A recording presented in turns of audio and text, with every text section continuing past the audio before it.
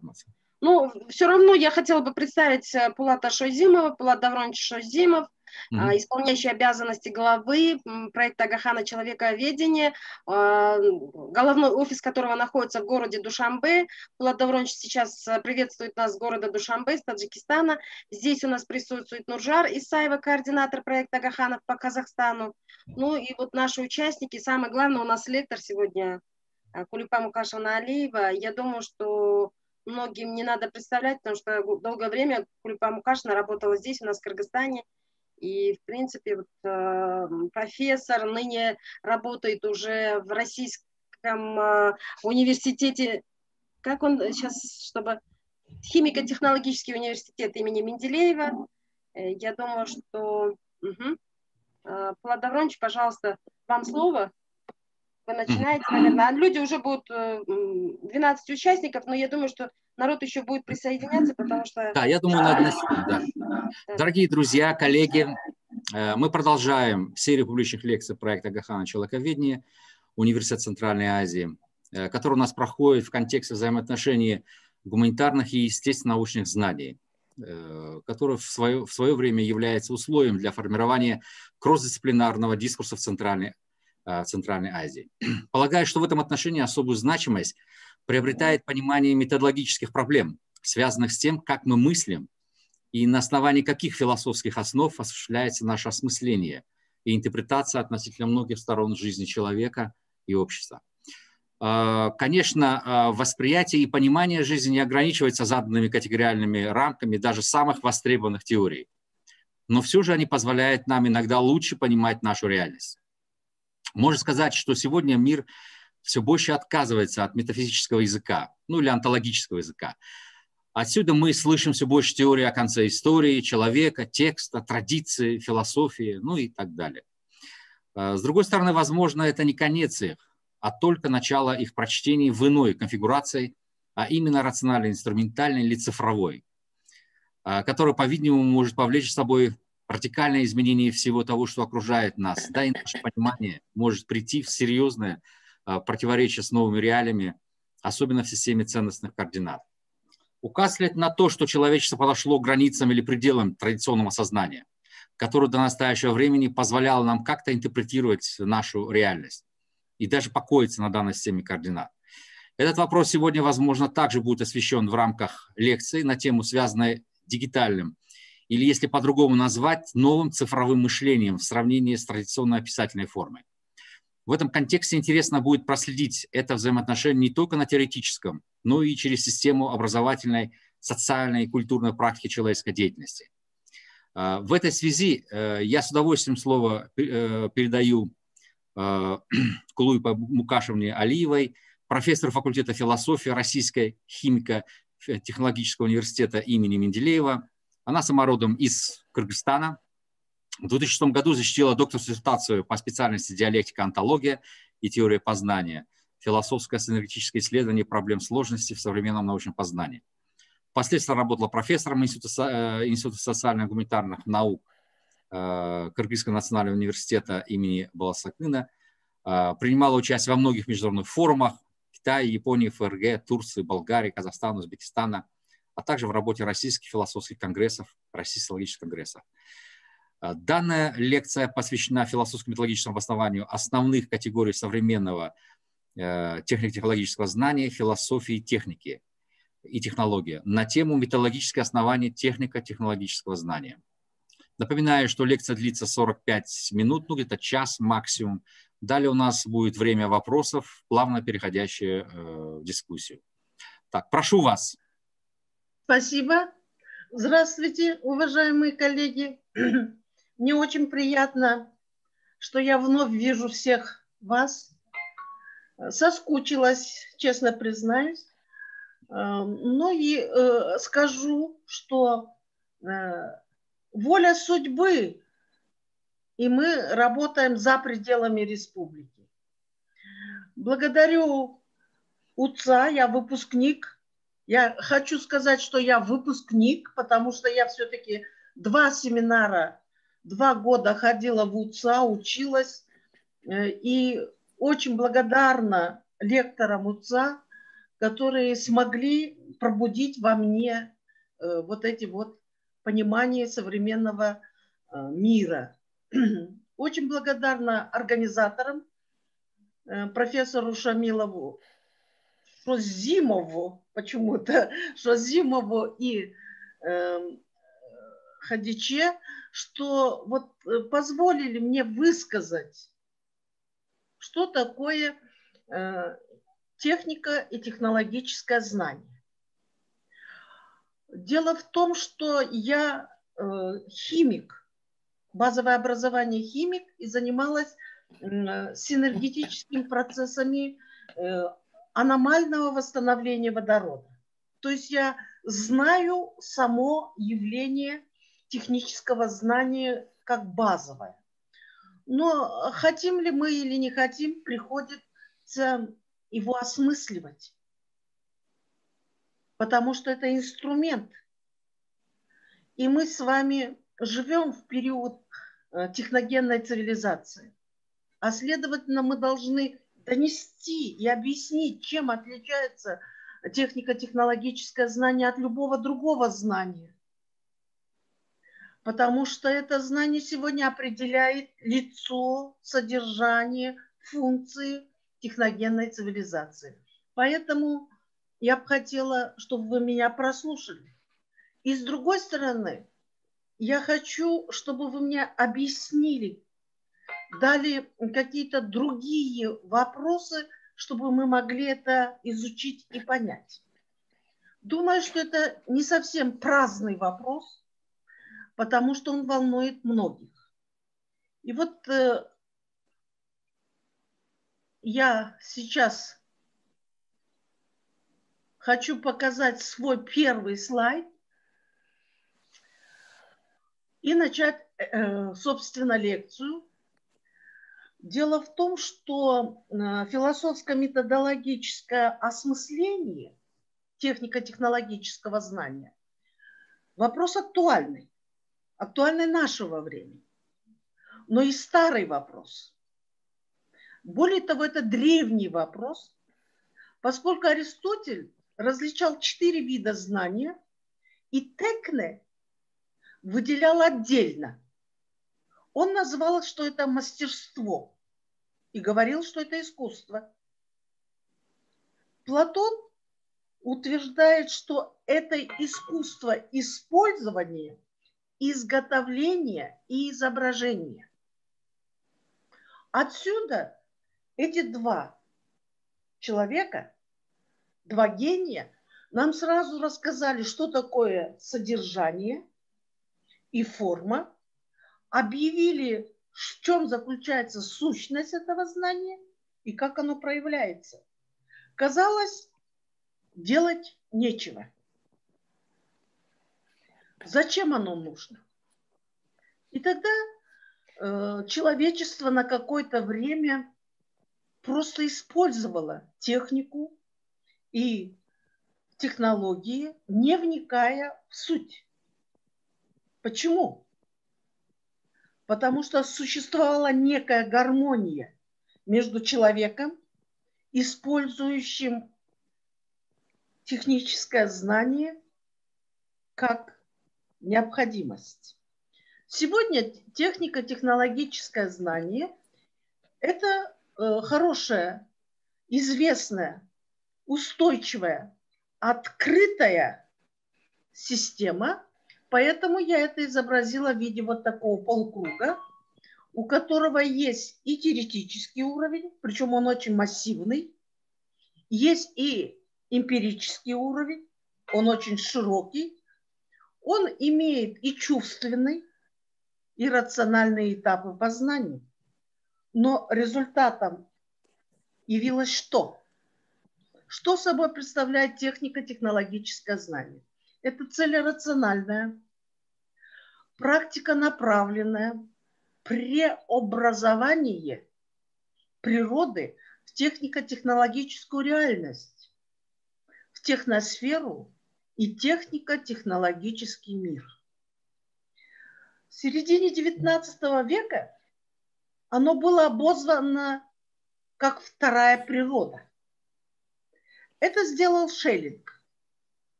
И мы до сих пор пользуемся этим пониманием. Не только философы, но и ученые, и простой народ. Спрашивается, почему? Какая разница между второй природой и технико-технологической реальностью? Мы все знаем, особенно в восточном мире, мы различаем бытие человека и реальность. И не всегда знаем, что объединяет эти два мира. Реальность – это то, что мы измеряем. Реальность – это то, к чему мы соответствуем.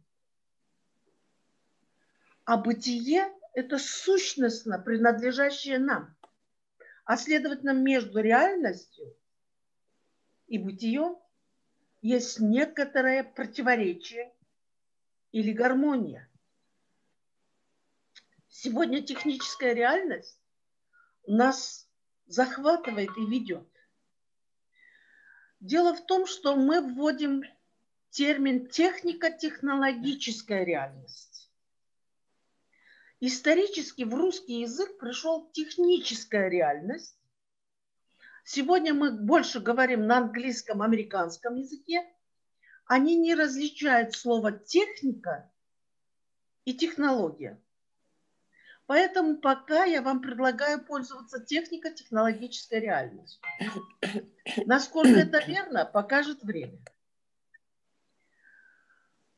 Я хочу вам сказать, почему мы вводим понятие преобразования. Технологическое знание и техническое знание предметом своего исследования вводит именно преобразование.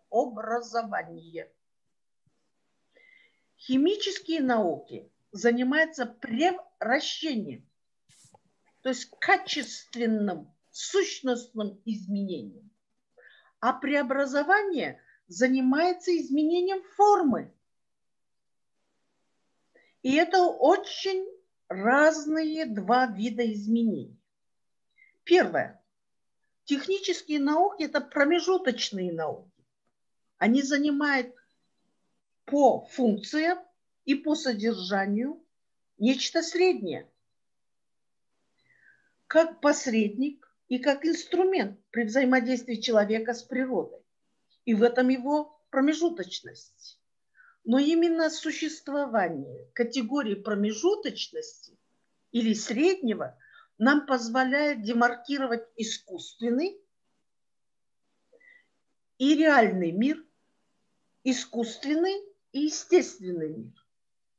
Искусственное – это созданное, сконструированное любой объект. Танк, нефтевышка, компьютер. Но они существуют в этом мире по объективным законам. Конечно, они зависят от нас, от человека, но они сегодня имеют собственные объективные закономерности. И поэтому мы вынуждены определять этот искусственный мир как технико-технологическую реальность. Еще одна особенность. У такого соотношения технического знания есть противоречия. Противоречия могут быть и обязаны быть. И человек должен их решать. Почему мы различаем технику от технологии? Это раз. Второе, почему это актуально сегодня? Мы с вами должны определиться, что техногенный мир имеет определенные свои движущие силы. И движущими силами выступает техника и технологии. Они определяют динамику роста и развития. Отсюда и актуальность. Мы должны понять это. Вы скажете, ну это проксиология, то есть обыкновенная практика. И какие они имеют отношение к человеку? мы можем пользоваться любым инструментом, начиная от мотыги и заканчивая машиной. Я имею в виду автомобиль. Да, мы можем. Но существование посредника между человеком и природой привело к одной доминантной мировоззренческой идее, закону и принципу. Мы с вами получили обезличивание. Именно обезличивание представляет собой доминантную мировоззренческую техно... Э, функцию техногенной цивилизации. Оно, обезличивание, привело к созданию массового человека и общества и определило их интересы. Вы знаете, есть такой великолепный художник, человек, который показывает наш мир. И вот эту идею Сальвадор Дали показал вот так. Главная техногенная катастрофа, она же и гуманистическая катастрофа нашего времени, 20 века, это Вторая мировая война. И лицо этой войны Дали показывает вот таким образом. Я не хочу показывать обезличенного человека. Он еще страшнее. Но каждый из нас, который может заниматься преобразованием этого мира, глядя на картину Дали, понимает, к чему приводит техногенная цивилизация и к чему ведет техногенная цивилизация. Но это самое страшное, к чему ведет техногенная цивилизация. Мы с вами должны поговорить о другом, о более позитивных явлениях. Почему сегодня мы говорим о философии техники и технологий? Дело в том, что взаимодействие науки, техники, технологии сложный и нелинейный процесс, но он имеет эволюционную природу. Природа может быть революционной, что актуально для Киргизии, и природа может быть эволюционная. Философия техники и технологии принимает эволюционную динамику.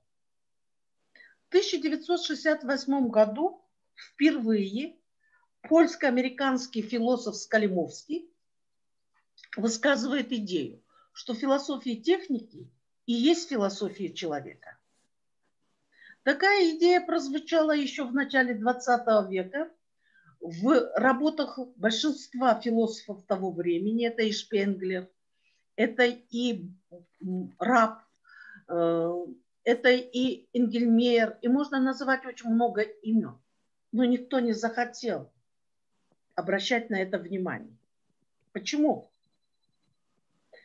только с середины и особенно со второй половины 20 века человек начинает понимать, что философия перешла на другой качественный период.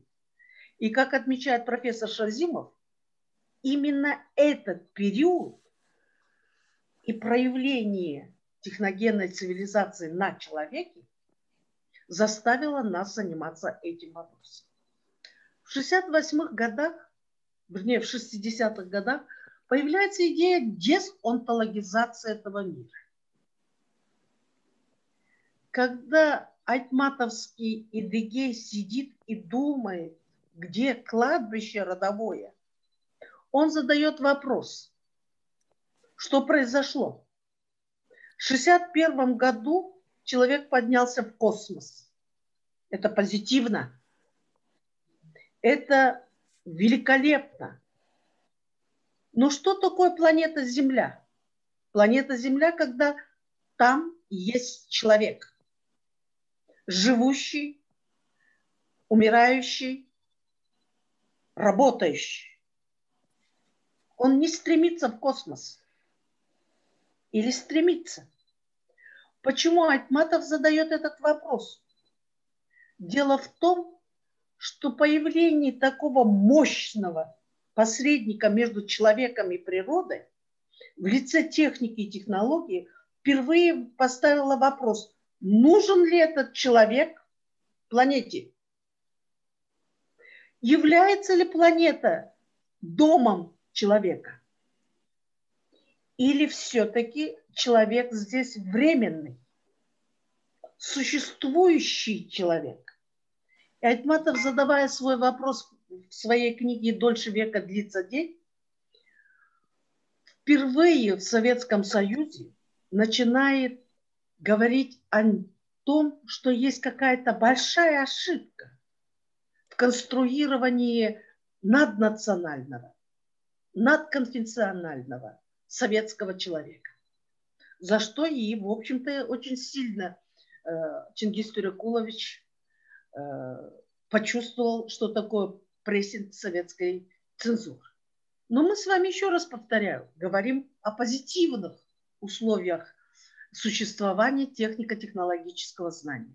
Он имеет свой интернационалистский фактор, то есть связан с внутренней природой создания технического знания. Но сегодня мы с вами очень хорошо понимаем, что технико-технологическое знание, оно функциональное знание. А следовательно, на него больше влияет экстерналистские факторы. Технологическое знание отвечает вызовам цивилизации. Технологическое знание отвечает развитию экономики, политики, социологии и прочих других э, вопросов, которыми связаны мы с вами. Какие методологические события произошли чтобы мы говорили с вами о том, что технологическое знание – теоретическое знание. Прежде всего, произошло очень интересное явление. На заре становления техногенной цивилизации произошло переход промыслового производства к промышленному. Промысловое производство материальных благ стало промышленным. Что это такое? Это многотонажное. Это штампованное производство. Да, это позитивно. Человек стал жить лучше. Мы все преподаватели. То есть мы транслируем свое знание ученикам. Промысловое знание и промысловое производство – это личностное знание. Оно передается от мастера подмастерью.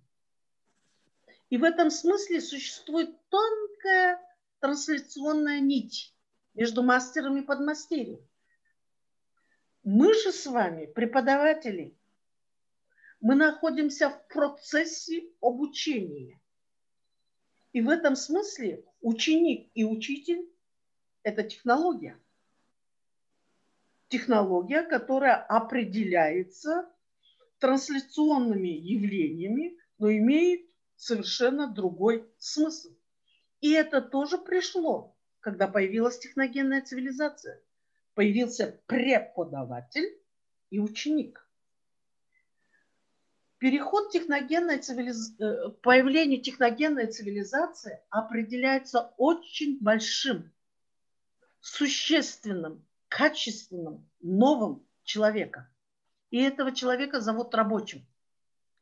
Сегодня у нас с вами на языке понимание рабочего, трудового резерва, трудового ресурса, человеческого фактора, человеческого капитала.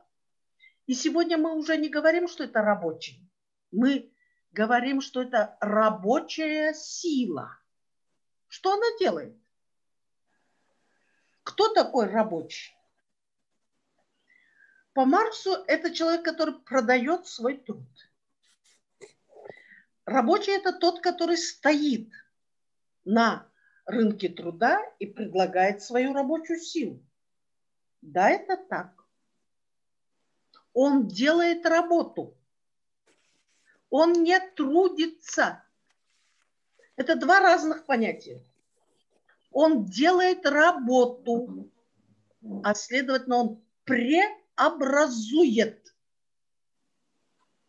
Преобразует.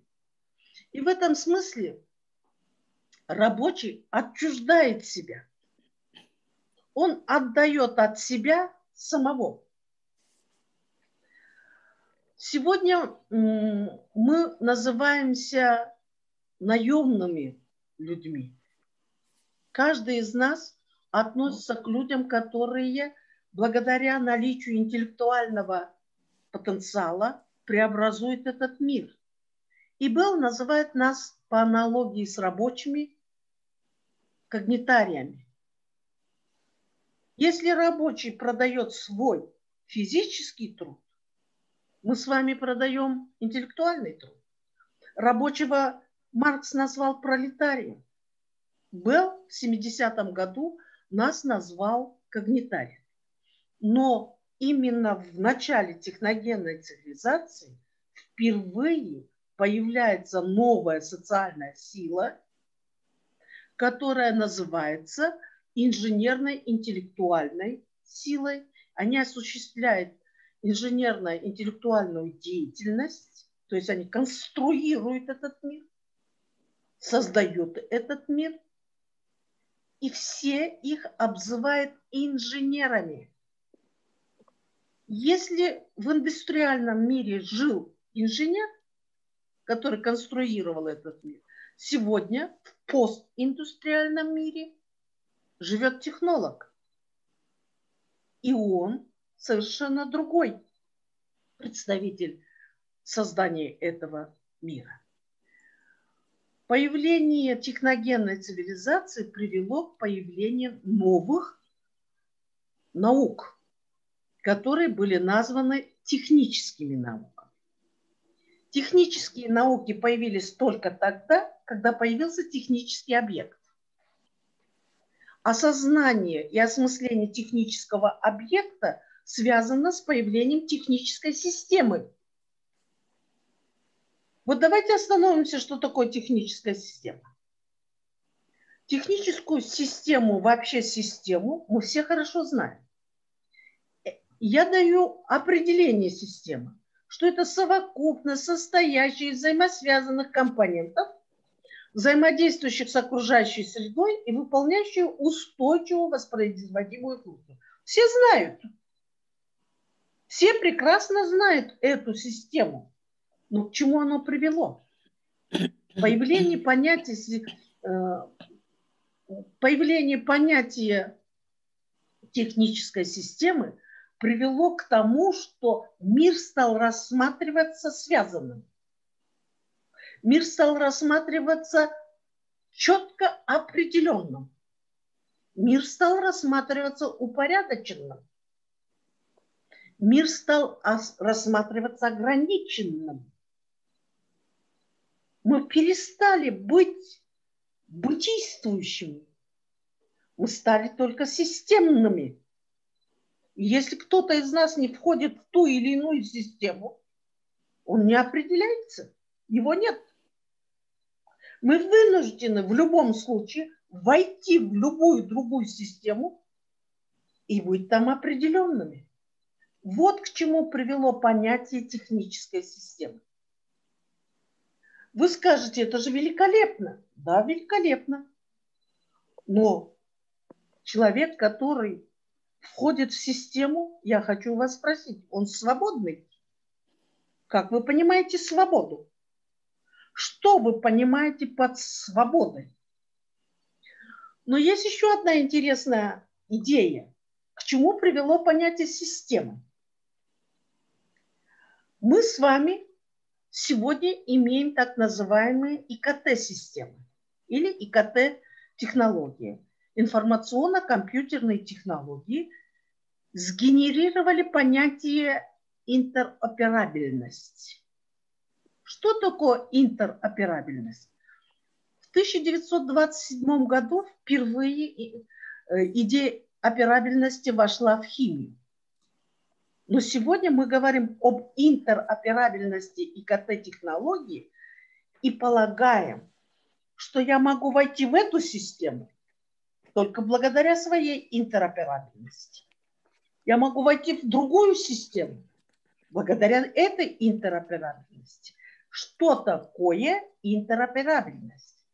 Это высокая степень взаимодействия. Это высокая степень востребованности. Это сложность, это многофункциональность. И тогда перевести на наш с вами язык – это знание языков, это умение работать, это высокая толерантность, это коммуникабельность и все то, что сегодня характеризует современного человека. Вот что такое интероперабельность. И мы вынуждены становиться интероперабельными. Как получается то, что я человек интероперабельный? Дело в том, что технико-технологический подход является основой метода человека, который владеет технологическим мышлением. Дело в том, что технологическое знание выработало целую парадигму. То есть оно дало нам компоненты, контент, содержание, но еще и дало принцип и подход. В чем он заключается? Конечно, технологический подход содержит все классические методы. Я имею в виду индукцию, дедукцию, анализ, синтез. Но я хочу вас спросить, у вас дети занимаются развивающими играми? У вас дети играют в карты? Не мешайте. Пусть играют. Ваши дети ломают будильники? Ломают. Пусть ломают. Дело в том, что она развивает другое мышление. И это мышление – это то, которое сегодня заставляют нам. Мы его знаем. Его называют умно. Цифровое мышление. Его называют дигитальное мышление. В чем оно заключается? Помимо дедукции, индукции, анализа и синтеза, новое знание – новый технико-технологический подход оперирует принципом декомпозиции. Я сейчас объясню, что это такое. Для того, чтобы владеть этим методом, надо уметь целое детализировать или на языке ИК-технологии дискетировать разбивать на какие-то мельчайшие частицы. На, языке ребенка, который ломает будильник, разложить его на части. А потом надо собрать. Детали собрать, композиционировать. Собрать так, как тебе нужно. И вот этот метод – дискетирование и вновь собранного и называется процессом декомпозиции. Он, он нам знакомый. Это тот метод, которым пользуется каждый из нас. Я никогда не думала, что это будет и называться дигитальным мышлением.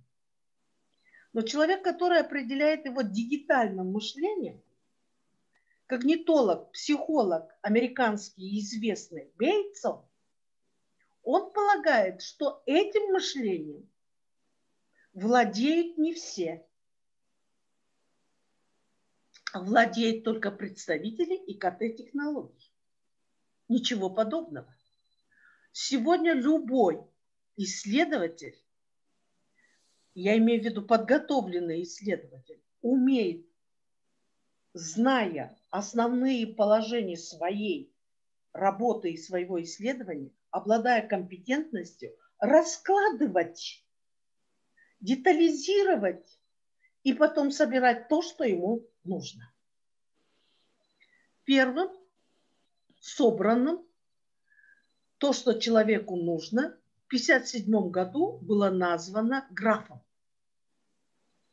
Теория графов – это очень интересная наука. Ну, поскольку я киргиз, К.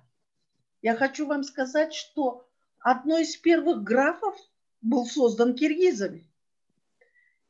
Известная Санжира, когда мы говорим о семи поколениях нашего рода и племени и создаем древо своего рода и племени, и есть первый граф. Первый граф написан 3000 лет тому назад. О чем речь? В 1957 году американский логик Черчмен сокращает слово графика до графа и создает теорию графов. Это обыкновенная схема, узлы которого имеют определенную связь. Множество связей. Есть два множества. Множество связей и множество компонентов. Наложение этих двух множеств дает граф. Наложение двух множеств дает нам язык компьютера. Все очень просто. Принцип декомпозиции, который вырос в недрах человеческого мышления, когнитивно перенесся в ИКТ-технологии. Когда мы с вами начинаем говорить о том, что когнитология является основой современного методологического знания, мы начинаем думать, что это, вероятно, что-то новое. Но на этой земле нет нового. Это все то, что мы начинаем обдумывать и осмысливать прилагая к этому инструменты нового знания.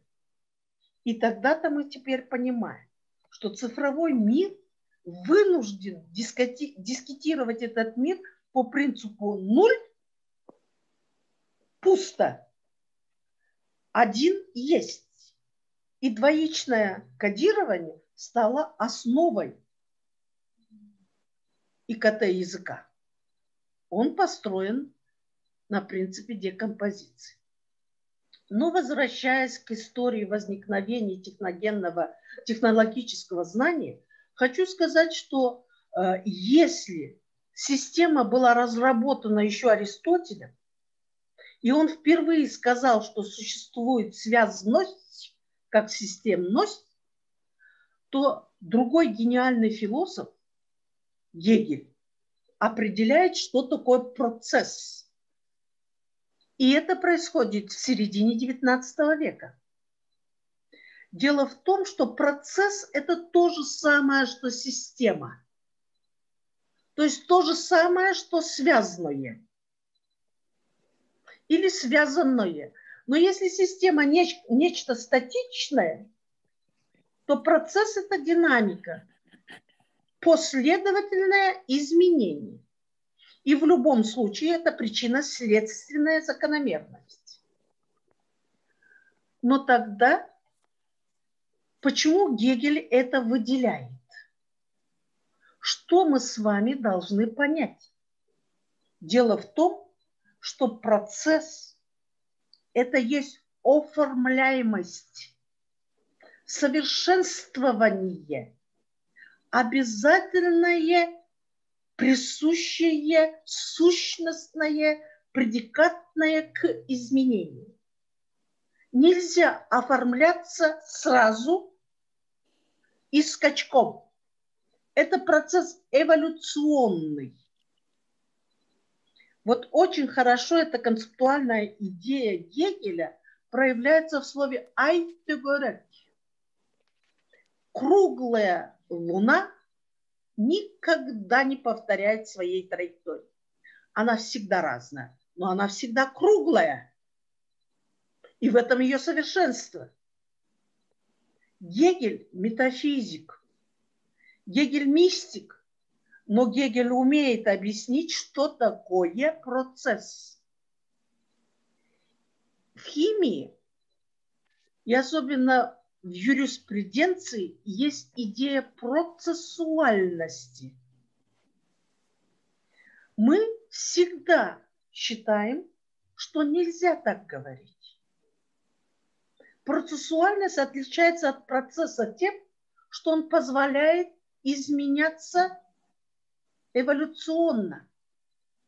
На нашем с вами языке процессуальность – это изменение изменяемого. Нельзя, чтобы причина определяла следствие. Надо, чтобы причина позволяла изменяться версионно, полиморфно, чтобы прийти к тому, что будет кругом. И это и есть совершенствование через оформление, о чем говорит Гегель. Но что лежит в основе совершенствования? И тогда Гегель утверждает, что в основе совершенствования лежит взаимодействие. Только взаимодействие, но не действие. Нельзя заставить одному изменяться всему миру. Только вместе, только приходя к одной мысли, мы можем понять, как измениться. Еще одна интересная вещь, которая произошла, когда произошло осмысление э, процесса, это появление машины. Дело в том, что появление машины в индустриальном периоде показало, что можно один вид энергии перевести в другой вид энергии. Все просто. Но кто переводит один вид энергии в другой? Кто это? И тогда мы понимаем, это делает работа. Индустриальный мир ввел этому миру другое понятие ценности. Ценно не труд. Труд – это качество человека. Мы созданы трудом. Мы люди,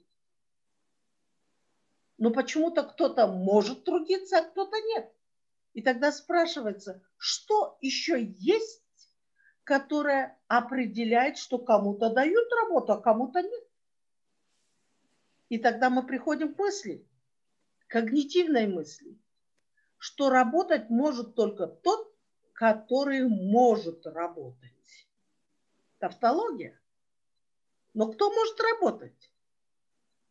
Тот, Человек. который может преобразовать один вид в другой. И тогда мы с вами приходим к когнитивному определению, что это и есть интеллект. Интеллект – это способность человека изменять этот мир, преобразовывать. Он не может создавать другого человека. Он может только, имея эту сущность человеческого мозга, как его интеллект, делать работу. Отсюда работа – это ценность, которая определяет этот индустриальный мир. И работу надо покупать, как это делают в Киргизии. У нас же к работе призывают – предлагают ему работу, сделай, пожалуйста, ты можешь. У тебя есть квалия делать это. Тебе содержится этот интеллект. И вот это понимание пришло именно в индустриальном мире. Что такое промышленная революция, научная революция и индустриальная революция? Это разное образование. Но вот промышленной революции нет. Есть только промышленный переворот. Есть научная революция. Но сегодня мы об этом не говорим. Но есть еще и индустриальная революция. В чем заключается индустриальная революция? Не думайте, что индустриальная революция – это и есть промышленная. То есть компьютер заменил нам печатный станок. Нет. Индустриальная революция привела к тому, что появилось другое распределение. Чего? Другое распределение. Другое распределение труда. Тот, кто обладает интеллектом, тот имеет деньги, извините меня, тот и есть богатый человек. Индустриальное распределение труда заключается в том, что интеллект производит, и производящий оплачивается. Рабочий в этом смысле не является человеком, который должен оплачиваться. Он просто юзер, он исполнитель. Поэтому мы сегодня говорим, что это и есть рабочая сила. Дело в том, что в индустриальный период впервые появилась научно-техническая интеллигенция. Это определение дал Малиновский. Он э, ревизионист, революционер. Но я хочу вам сказать, что сегодня в России наш президент объявил впервые, что в России сформировалась новая социальная сила. В России сформировался большой, массивный, потенциально сильный средний класс. И он состоит из научно, техника, технологической интеллигенции. Самый большой средний класс сегодня существует в Китае. Он у них размытый но он очень сильный и высокооплачиваемый. Другой средний класс и очень сильный – это Япония. Потом идут Штаты. Россия стоит на 65-м месте. В Киргизии сегодня нет такого класса. Социальные силы – это те, та часть общества, которая лидирует, которая определяет лицо страны и государства. И вот такую идею ввел Малиновский в 1907 году после осознания, что такое интеллигенция. Это сформировавшееся лицо страны. Научно технико-технологическая интеллигенция сегодня определяется социальную силу любого государства, а следовательно государство должно его оплачивать.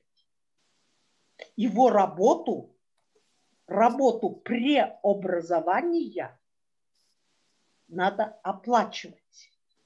Очень хороший пример, связанный с врачами. Стихия ковида и врач, обладая технологическим знанием, клинических технологий, сделает все, чтобы преобразовать больного в здорового. Вот что такое сегодня социальная сила.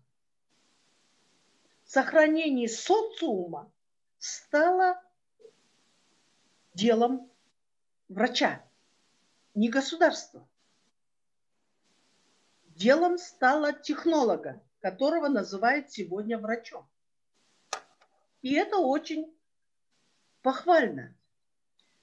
Особенностью технологий является то, что они обязательно имеют математический инструментарий.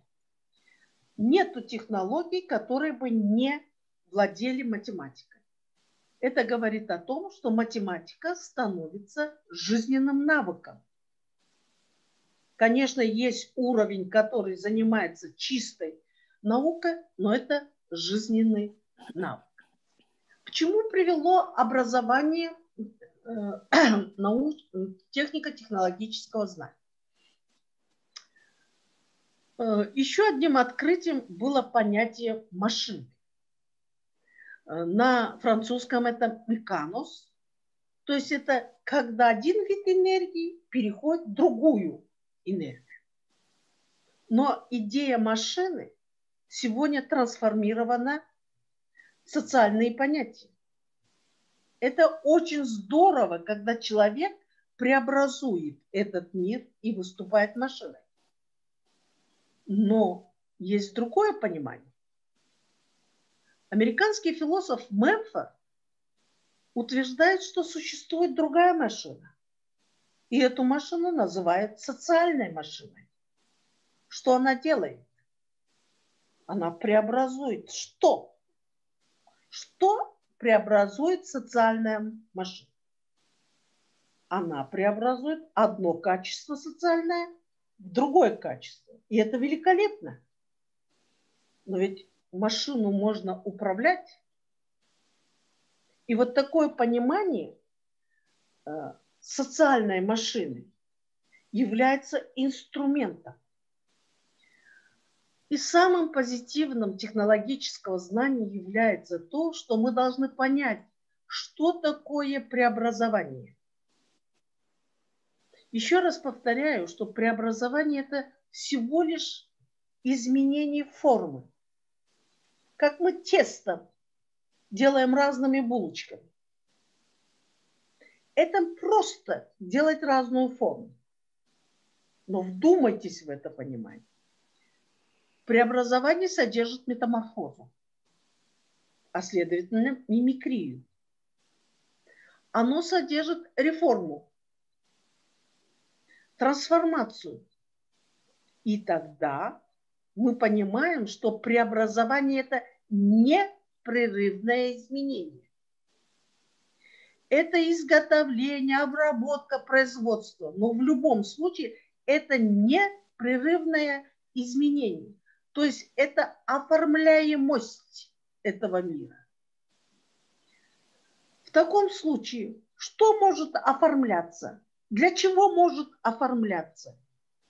И тогда мы начинаем отвечать на эти вопросы. Мы оформляемся, чтобы соответствовать. Для чего? Что показывает преобразование? Преобразование показывает степень соответствия. Мы должны соответствовать. Мы должны адаптироваться к окружению. Мы должны соизмеряться к окружению. На киргизском языке это называется мамиле тюзю. Мы обязаны делать мамиле. Это толерантность Отсюда мы понимаем, что этот мир, который преобразуется, будет полиморфным, поливалентным, вариативным. Он должен быть технологическим знанием. Слово «технология» придумано в 1772 году. Его придумал немецкий экономист Бекман. Это экономическое понятие.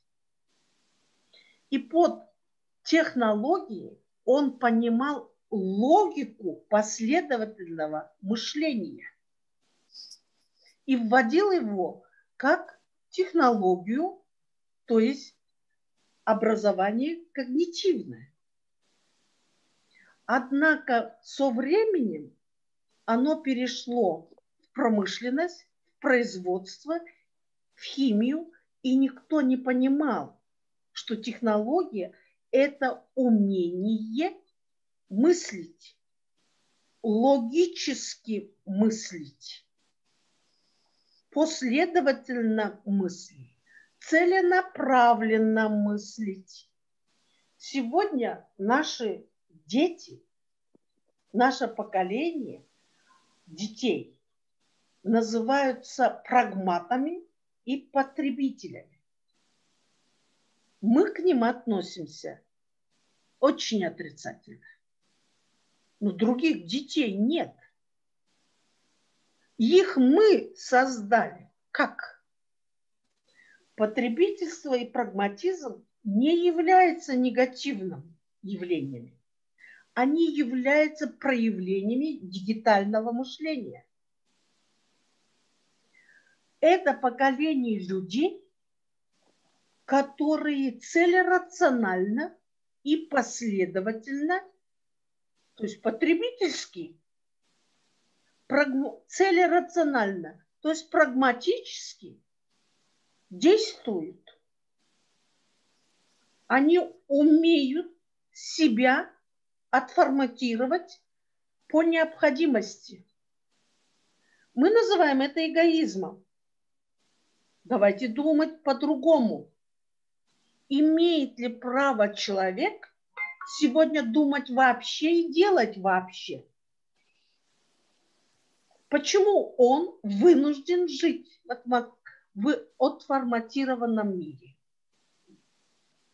Технико-технологическая реальность должна быть и соответствовать только дигитальному мышлению. И мы вынуждены быть таковыми. Отсюда потребительство и прагматизм становятся основами человеческого существования, условием существования. И надо полагать, что эта молодежь, мы скажем по-другому, это новые люди, которые чувствуют, что их когнитивная технология позволяет им комфортно существовать. И почему бы не понимать нам, что дигитализированные или цифровые люди – это будущее. Они обладают технократическим мышлением. Технократическое мышление предполагает существование узлового от одного узла к другому узлу процессуального мышления. Вот что такое сегодня цифровое мышление. Конечно, многие считают, что цифровое мышление вынуждено форматировать. И тогда мы с вами попадаем на вопрос, кто форматирует.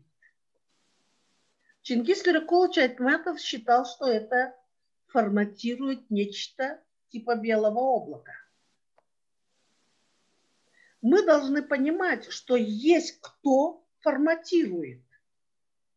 Отсюда мы должны сегодня понимать, кто форматирует и что форматирует. Это и есть основные философские вопросы техногенной цивилизации. Отсюда технологи... Э, философские вопросы техногенной цивилизации не заключается в том, чтобы сделать машину или какой-нибудь Lexus, а заключается в том, что сможет ли человек демаркировать естественный мир от искусственного и понять технический мир, техносферу и техническую реальность как форму существования. Сможет ли это сделать человек? Это те вопросы, которые задает сегодня философия техники. Говорить о том, что может или не может, это необходимость, которым занимаются э, философы науки. Почему? Потому что, как выясняется, техника, технология, компьютеры, машины и прочее относятся к рациональному мышлению человека, то есть определяет культуру человека, культуру всей техногенной цивилизации.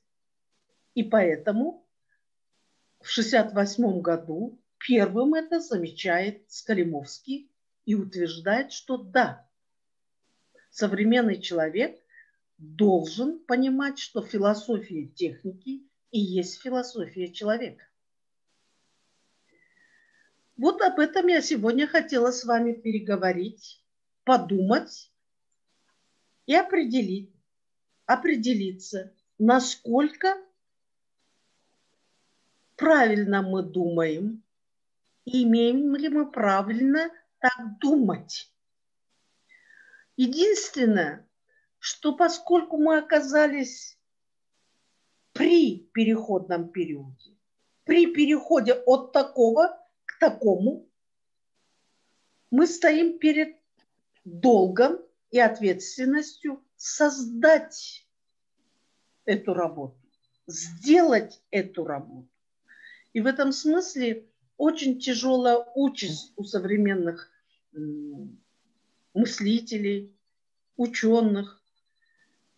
Как перейти к дигитальному мышлению? Пока мы с вами думаем, новые люди уже перешли. И мы должны относиться к этому с уважением и пониманием. Вот какие вопросы? Спасибо, что послушали. Большое спасибо.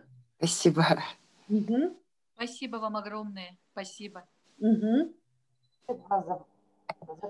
Спасибо огромное угу. за действительно очень содержательное. Я э, очень э, внимательно прослушал лекцию, и она меня очень действительно заинтересовала своей глубиной, э, философскими вопросами. Мне понравилось, как э, вы использовали свое профильное, как бы сказать, э, образование в области химии, как вы выстроили все очень так системно, по-менделеевски, можно сказать. По-менделеевски.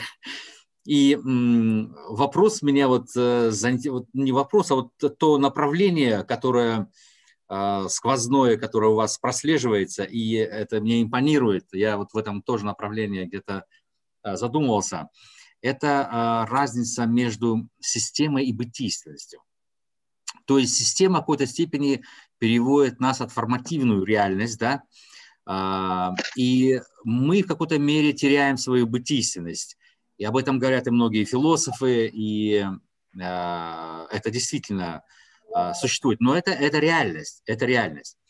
И можно сказать, что вот то метафизическое измерение, которое определялось такими линейными, четкими границами, когда общество переходило от каких-то заданных систем, общинных систем, каким-то гражданским институтам, от гражданских институтов Э, это государственно-институциональным, то, о чем хорошо сказал Гегель, да, философии права, он хорошо показал эту связь процессуальную на уровне социальных систем.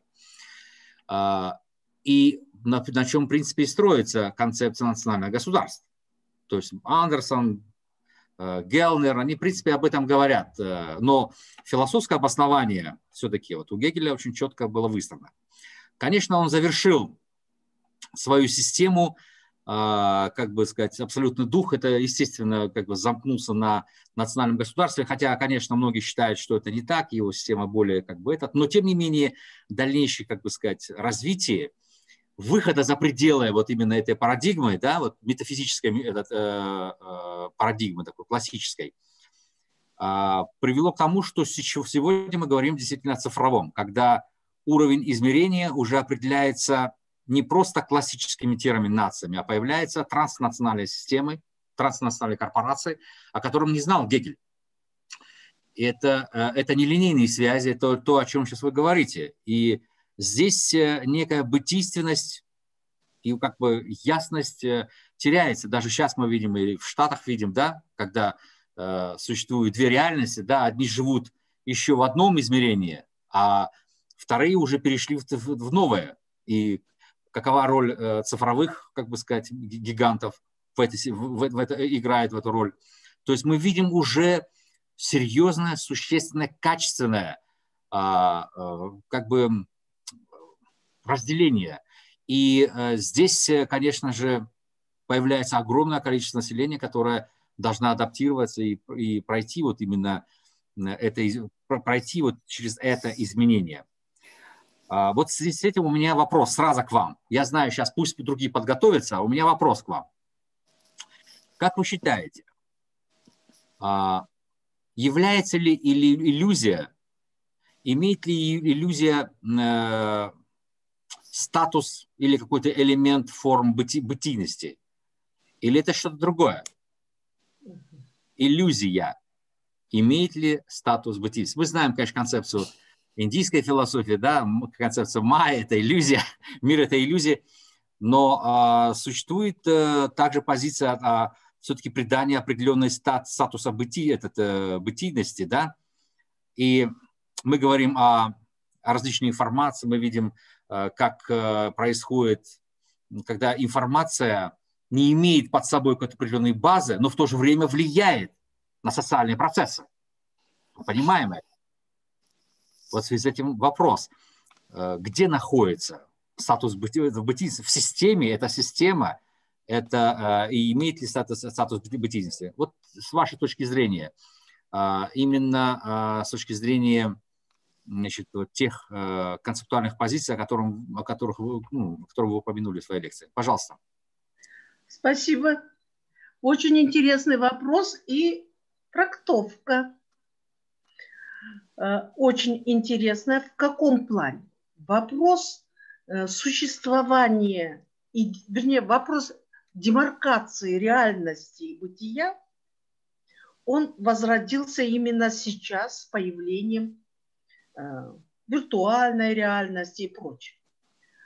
Но ведь Хальдун, наш великолепный, который жил еще в том тысячелетии, ставил вопрос о э, демаркации четко и ясно. Не секрет, что в нашем ментальном состоянии мы знаем, что такое джалган динея.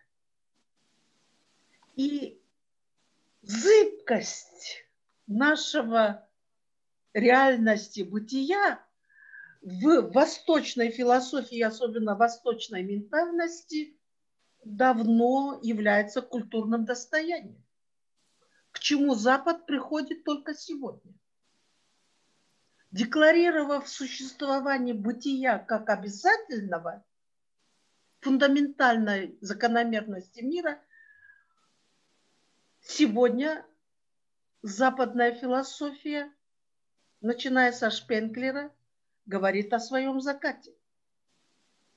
И мне сейчас кажется, я чувствую, что Э, западная философия хочет примирить ца и подойти к восточному мышлению именно в вопросе демаркации джалган и бытия. Вот отвечая на этот вопрос, мне хотелось бы сказать, что э, будучи в таком полиморфном взаимодействии, будучи постоянно более гибким ввиду особенностей своего бытия, восточный мыслитель давно привык к полиморфности, версионности, вариативности и не видит в этом реальность или бытие. Он совмещает комплементарно, как человек. А вот Запад, э, придумав эти жесткие законы бытия и какие-то вплоть до каких-то социальных и правовых положений, они почувствовали, что вот эта такая демаркация может привести к тому, что человек будет чувствовать свою дезонтологизацию явно. В западном мире есть явление хиппи, есть эм, появление атомарного человека, э, появление господства над миром как такового. Э, ну, и, просили не говорить о политике, но хочешь не хочешь, надо говорить. Идея создания, идеологическая постановка создания советского человека, надконфессионального, надкультурного, тоже есть проблема бытия и реальности. Мы уже ответили на этот вопрос. И самое интересное, на этот вопрос отвечает молодежь. Когда им дали свободу мышления, рационального мышления, они просто определились, что такое бытие человека и чем оно должно заниматься. Техногенная цивилизация вызвала техногенную реальность или техническую реальность, и техническая реальность оказалась более проще, чем технологическая реальность. Сегодня именно возможность демаркирования этого позволяет нам сохранить свою идентификацию. как именно планетарной органи... планетарного образования. Самоидентификация человека, а не процесс глобализации э, и не создание человека вообще, а именно человека, имеющего какие-то свои онтологические константы. Вот о чем мы должны думать, когда мы говорим о бытие и реальности. Техногенная реальность может привести к тому, что мы сотрем эти границы. Генетические границы мы уже стираем. Мы даже придумали апгрейд человека. Мы скоро перейдем к искусственному человеку. Но ведь это все инструмент. Мы должны остаться человеком как таковым, идентифицирующим себя, как скажем, мы.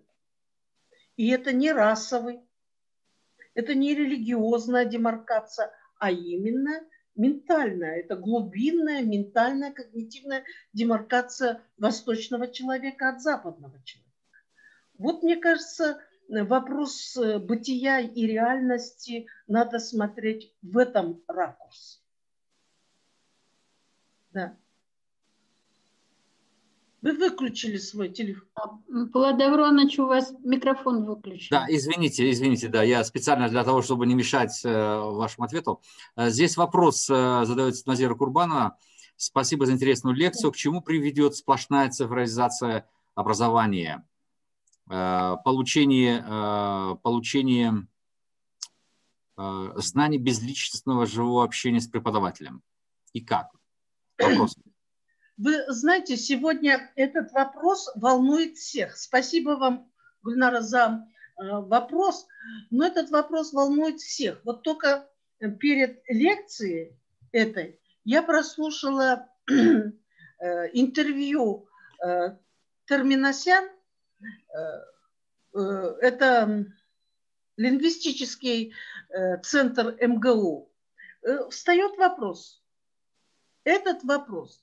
И он, конечно, имеет много нюансов. Педагогический, технологический. Но нас, я надеюсь, волнует философская проблематика. Мы можем потерять э, чистое человеческое, коммуникативное э, взаимодействие. Очень интересно в этом плане сказал философ Хабармас, который написал книгу «Теория э, коммуникативного общения». Человека сделал не труд, как утверждает Маркс. Человека сделал язык коммуникации и общаясь, чувствуя, воспринимая и представляя, он стал человеком. И в этом плане, конечно, мы должны иметь живое общение. Живое общение и особенно живое образование. Но это становится роскошью. В этом плане мне нравятся цифровые технологии, э, панацея для развивающихся стран. Не секрет, что цифровые технологии помогут этим странам в том плане, что они смогут прийти, получить образование, выслушать любого. Вот, например, я сама очень часто выхожу на семинар с Чапменом. Он живет в Австралии. Э, Трудное сознание читает лекции свободно, бесплатно, доступ все могут. Это панацея для развивающих стран.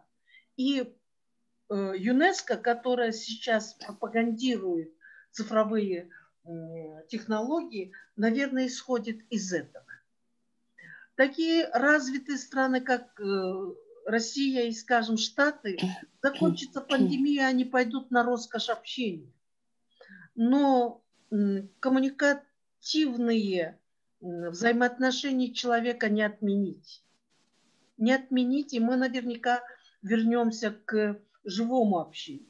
Но, опять-таки, исходя из рационального понимания, я полагаю, что цифровое обучение – это панацея для всех развивающих стран.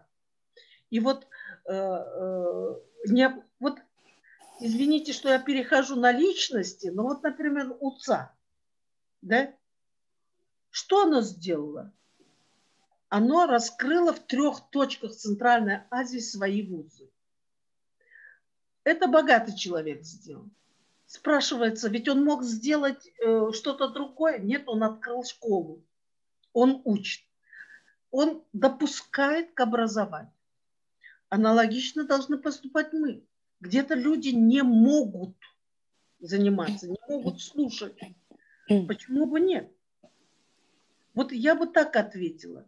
Другое дело, могут ли все иметь такие себе гаджеты и инструменты? Как мы сможем сделать, чтобы развивающие страны имели доступ к технике? Вот э, сейчас это другой вопрос. Вот на такой вопрос, мне кажется, э, могут помог, помочь нам сильные, богатые люди планеты. Обратиться с просьбой обеспечить всех э, хотя бы какими-то определенными, хотя бы каким-нибудь доступом. Еще другой вопрос. Цифровые технологии, страшные технологии, они создают человека, человека как носителя сознания. И в этом плане э, цензура как таковая, э, я не хочу, пользуюсь этим словом, э, контроль и регулирование должно быть э, еще одной, э, одним долгом человека знающего. Мы, знающие, должны понимать и чувствовать это, чем не знающие. Мы ответственны, что к чему приходит тот или другой молодой человек, что он смотрит и видит. Мы ответственны. А следовательно, надо создавать правовое поле цифрового обучения. Вам задают еще один вопрос. Угу. Значит, сейчас э, я озвучу этот вопрос. Так, эм, извините. Это Айнайгул. Да, Айнайгул. Да, она спрашивает, э, каково, каково ваше видение о роли Санжира преображении современной социальной реальности? Спасибо. Санжира. Да. да. Санжира. Очень интересная вещь. Вы знаете, я себе позволю не, немножечко далеко. Э, одна из версий – утеря письменности или, все, или отсутствие письменности. Вот этот вопрос э, очень интересный. В каком плане? Если мы с вами будем исходить о том, что восточный мир э, имеет верификацию более чем 5000 лет, то, вероятно всего, канал письменный был у него. Чисто эволюционно и исторически доказуемо, что существовал какой-то фундаментальный канал передачи информации. И он, вероятно всего, был письменный. Но существование вот этих блочных, устных информаций, типа Санжира, это феномен каких стран? Какого населения? Не секрет, что существование эпического наследия многих азиатских стран говорит о том, что у этих людей был какой-то другой когнитивный пласт. И они могли запоминать громадные объемы информации. Просто запоминать. Сегодня наш маленький мозг вынужден себя защищать от информации компьютера. Тот человек, который жил хотя бы тысячу лет тому назад, он мог это делать как жизненный навык. Поэтому существуют эпосы и санжира. Мы должны хранить генетическую информацию. И это тоже санжира. Но сегодня, сегодня мы это можем делать на уровне правовых, гражданских и прочих вещей, и мы уходим от Санжира. Но Санжира – это то, что представляет собой культурную идентификацию целого народа. Вот у меня такое понимание к Санжира. Санжира существует у всех народов. Другое дело, что киргизы, киргизы как самый маленький исчезающий этнос, вынужден был это хранить, чтобы генетически не смешиваться. Это был закрытый этнос. И Санжира позволяла делать хиральность, генетическую хиральность, чистоту. Те народы, которые имели доступ к цивилизации и жили, скажем, э, и могли соприкасаться с другими народами, они, конечно, перемешивались. Демография позволяла это делать. Но сегодня Санжира становится инструментом некоторых э, невежественных людей. И это очень неприятно. Честно я скажу. Еще одну вещь я скажу, э, хочу сказать, что родоплеменная организация многих народов, скажем так, родоплеменная организация многих культур Центральной Азии – это информационная матрица. И пусть к ней относятся негативно на Западе, но мы должны понимать, что это матрица историческая. И она присутствует у всех народов как необходимость. Вот я к ней так отношусь. Другим народам повезло. Они имеют письменную верификацию. А те народы, которые приняли, вернее, те культуры, которые приняли устную форму хранения информации, э, им гораздо сложнее, но доказуемо. Э, Гиннес признал эпос Манас, ЮНЕСКО признала эпосы, многие эпосы, и это говорит о том, что цивилизация относится к этому достаточно уважительно. Вот такой бы я ответ сказал. Спасибо большое. Спасибо. А, пожалуйста, вопросы. Вот у меня... Знаете, это... интересно. Да, да Хадича, когда, пожалуйста. Да, когда мы, я вот тоже читала где, где-то, я уже сейчас не скажу, кто это, но один из ученых, наверное, Виктория ученого, сказала о том, что появление письменности убивает память человека. Да? Человек записывает, и он в памяти это не держит. А вот э, именно Карасдар, как вы сказали, да, кочевники, которые а, история вся сохранилась в устном творчестве, да, получается, вот устно, из устно передавалась а, генетический код, э, вот, э, информация вся. И в этом смысле та же самая Санджира, которая предполагала зна- не только знания, а именно эм, исполнение этого Санджира, да, не кровосмешание, да, а, которая предполагает ну, вот, э, и биологическое, биологическое неисчезновение человека. В этом смысле вот, э, я сейчас опять услышала, что письменность не всегда есть хорошо я где-то уже слышала эту мысль, мне тогда казалось наоборот, мы всегда говорили, вот э, кыргызская литература, это вот новая письменная литература, которая зародилась чуть ли не в 19, ну, вот в, 20, в начале 20 века, что мы только-только, младописьменная, да, еще было название такое, термин такой, младописьменная литература. И нам казалось, что мы вот какие-то второсортные. А на самом деле, оказывается, сегодня есть э, другое мнение, что вот э, устная письменная литература не всегда есть эм, достижение. Может быть, лучше, когда есть еще и устное. Ну вот отвечая на этот вопрос, хотелось бы сказать, что такое ИКТ-язык? Это матричный язык, это блочный язык, и он состоит из, из обыкновенных комбинаций 0-1, 0-1, 0 пусто или нет, а один есть. Дигитал – это палец, да?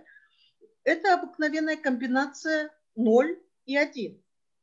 Реальности и бытия на самом деле. И поэтому, вероятно всего, э, устная передача информации, это скорее матричная и блочная, а письменная дигиталированная, то есть зафиксированная. А, э, Запад э, считает, что все, что письменно, легитимно, а все, что устно, это надо верифицировать. Но сегодня мы вынуждены понимать, что появление ИКТ языка ведет к тому, что не всякая устная информация э, нелегитимна. Она имеет место быть. Это же становится фактом. Вот смотрите, э, есть идея так называемого радикального плюрализма. В чем он заключается? Это э, два родителя, извините, уже фамилию не, не совсем хорошо скажу, дипломаты, которые вынуждены были жить в разных странах, обратили внимание на то, что их дети могут спокойно знать несколько языков и говорить на, на этих языках. Спрашивается, если Wittgenstein утверждает, что весь мир – это мой язык, у этих детей, которые говорят на пяти языках пять миров, или все-таки язык – это просто инструмент общения, коммуникации? И вот тогда-то они пришли к пониманию, что существует радикальный плюрализм. Язык, транслирующий человека, ну, язык и мышление – это некоторые взаимосвязанные феномены человеческого «я». Так вот, я, опуская такое понимание, считаю, что язык транслирует, представляет, презентирует человека. И вот радикальный плюрализм э, позволяет понять, что человек, который думает на многих языках, может себя презентовать версионно. В каждом языке по-своему. Например, я здороваюсь, целуюсь в щечку. Чукча пытается почесать мне нос своим носом. Это его презентирование дружелюбия. И вот Такое понимание сегодня становится обязательным явлением. Почему бы не переходить к матричному языку? Я не знаю, как многие, я пишу без гласных. Время жалко набирать гласные буквы.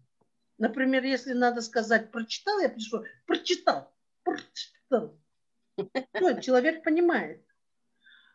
Вероятно всего, когда нам нужно будет передавать очень много информации, мы перейдем к блоку.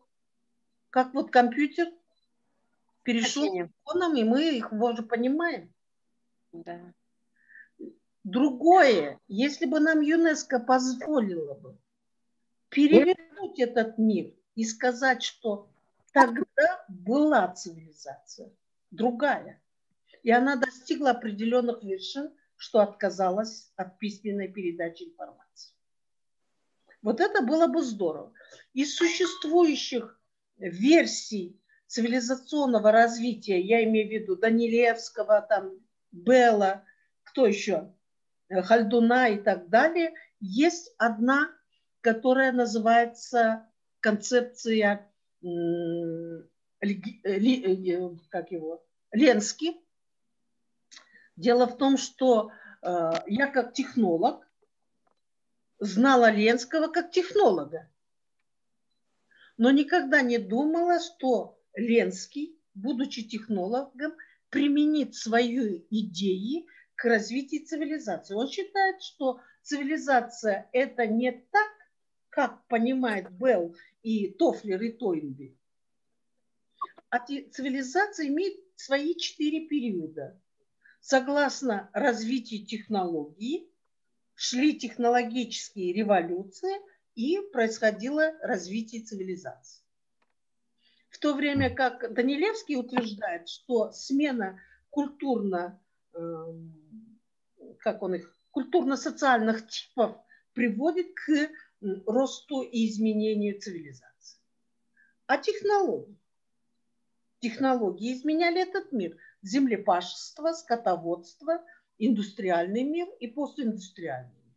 Сегодня, когда мы пришли к тому, что компьютерные технологии э, приведут к другому изменению, мы все вынуждены изучать сущность технологического знания. В чем она заключается?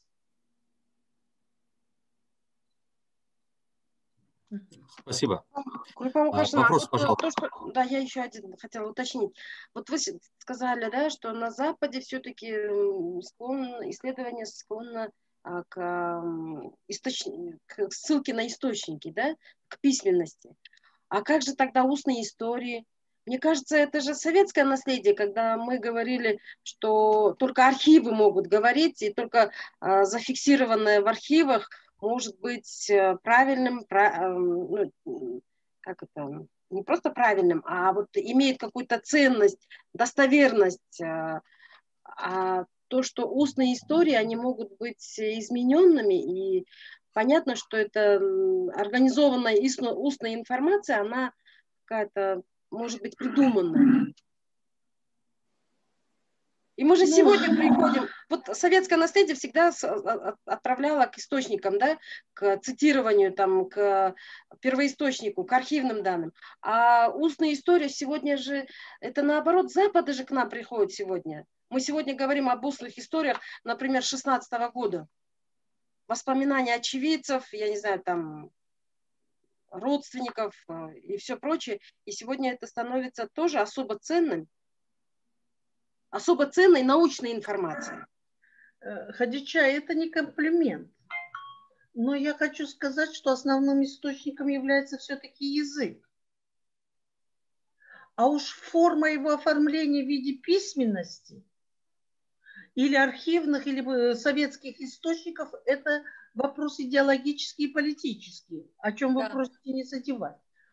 Но тем не менее, согласитесь, что язык имеет очень понятийная сторона языка, имеет очень большое значение. Вот, э, э, скажем, айтогорек. Угу. Айтогорек. Что такое айтогорек? Круглый. Луна как... полная. Угу. Да, как луна когда читаешь Гегеля, который все время говорит, что такое круг, его метафизика кажется таким людям, как Ленин, несовершенно, совершенно нехорошим явлением. Но почему тогда существует цифра пи с бесконечным количеством? Это говорит о том, что круг – это есть совершенство, к которому стремится. Если Пифагор смог это через пи определить, а Гегель через совершенствование, киргизы через ай, гюль, ай, джан и так далее, они считают, что язык передает совершенствование круга. Что да. такое совершенство? Да. Это комила? Или все-таки это ай? И в этом смысле язык, конечно, это основной источник. Другое дело. Сегодня, когда идет защита, требует обязательно упомянуть источник, и мы сейчас можем и выставить URL, да, спокойно и сказать, что э, доступ был сделан вчера. URL, да, вы меня поняли, источник интернета. Э, источник, который определяется через фольклор и устные вещи, сегодня относится к кейс-стадии о котором вы нас в свое время учили. Опять же, хорошие деревенские люди, 60 страниц э, вашего эссе сегодня является основным кейс-стади определения предиката, определения онтологических констант английского человека или там шотландского человека. Я к чему хочу сказать? Вот мне удалось побывать Э, профессор Шозимов, в городе Нара. Нара – это восхождение на Нараяму. Помните? Нараяма был японский. Да, конечно. Город Нарын, в котором находится Уца, по звучанию Нара. Что вы думаете, слово Нара обозначает? М? Город Нарын – это узкий, река, нарезанная лапша, узкий. Узкий в плане сжатый. Узкий как один. Тикетл тоже греческое слово, обозначающее узкий один. Нара и японская нара узкий. Японская нара на ара они говорят. Это один. И город на Арын и город Нара имеет один и тот же язык. Одно и то же смысловое назначенское э, функцию. Нарын как узкий, нарын как нар. Еще одно хочу сказать. Я хочу задать вам вопрос, это, господин Шазимов. Скажите, на каком основании УЦА построена в городе Нарын, потом где-то в Казахстане, а потом в Хароне? Вы видели? Вы посмотрите топографическую карту. Они находятся на строгой одной линии. Вот Нарын, вот идет казахский или какой-то там еще, а потом таджикский или Харок. Они на одной линии. А, Это сделал кто? Кто проектировал? На каком основании проектировал? А, вы знаете, здесь были включены а, множество экспертов, экспертов как местных, так и зарубежных, где рассматривались вопросы и э, сейсмические, ну, многие вопросы. Но главная была концепция, она заключалась в том, чтобы дать возможность горным, самым отдаленным точкам да. иметь возможности доступ к образованию э, и иметь больше возможностей. То есть подключить этот тот потенциал, который существует э, э в трех странах, и э, который в какой-то мере может дать э, не только там дать возможность им образования, а в том, чтобы дать э, возможность усилить э, человеческие ресурсы, институциональные ресурсы вообще каждых из стран.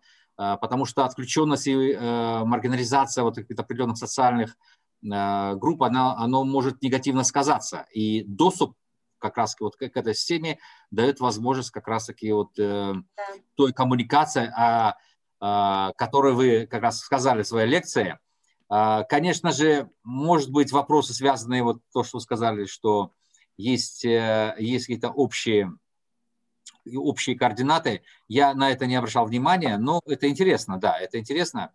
А, но вот самая главная концептуальная линия, которые были связаны вот с тем, а, почему именно в этих отдаленных регионах а, готовится. Сейчас в Текеле сейчас планируется, пока еще только у нас на Рыне и в Хароге, да, а в Текеле сейчас уже вопрос активно решается, и вот уже сейчас, я думаю, вопрос э, будет уже актуализироваться. Ну вот, Это... возвращаясь к Нарену и Наре, вероятно всего есть какая-то взаимосвязь языковая и фонетическая. Можно писать те же буквы в одном слове, но фонетика будет отличаться и, и нести другую смысловую нагрузку. Абсолютно. Ну вот почему Нара и Нарын – это и смысловое, и функциональное, и географически, и все-все определяет одно и то же, Нара – это гора большая. И город такой же на высоте 3,5 э, метра над уровнем моря. И там живут те же олени, которые живут в городе Нары. Те же растения, которые живут, э, растут в городе Нары. То есть там есть голубые ели. Так удивительно, что мне было там и очень много сходств, большое сходство. Я к чему говорю? Концептуальная идея в построении э, школ УЦА, она позитивистская. Мне хочется, э, не потому что это комплимент э, Хадиче, но мне хочется это подчеркнуть. Необходимость дать образование отдаленным странам, отдаленным от цивилизации людям, Это одна из очень интереснейших позитивистских взглядов э, принца. Но э, построение этих э, школ или вузов, университетов, как они называются, на одной линии, э, выставленных географически, их экспортно и прочее, э, интересно чем? Они находятся на одном геохимическом разломе и на одном хребте, оказывается. Такое впечатление, как будто кто-то сверху смотрел и видел горы, где идет этот разлом топографический. Э, мы с вами вынуждены сегодня идти к топонимии, топонимии, гигронинам, гидронимам, различным названиям городов, сел, названий, и по ним изучать и получать информацию. Вот поэтому я и спрашиваю, является ли это фундаментальной линией. Э, рефлексии э, восточного человека, или это случайность? Я все, что вы говорили, господин Хазимов, все это давно вычитала. Даже спрашивала, на каком основании вы так построили этот свой, свою линию линия позитивистская, она выстроена по прямой, по хребту и так далее. Я вам вышлю свое исследование по этому названию и скажу, что в этом есть некое провидение. Не хочу говорить какое, но есть какое-то провидение. Информация признана фундаментальным признаком э, нашего с вами бытия совсем недавно.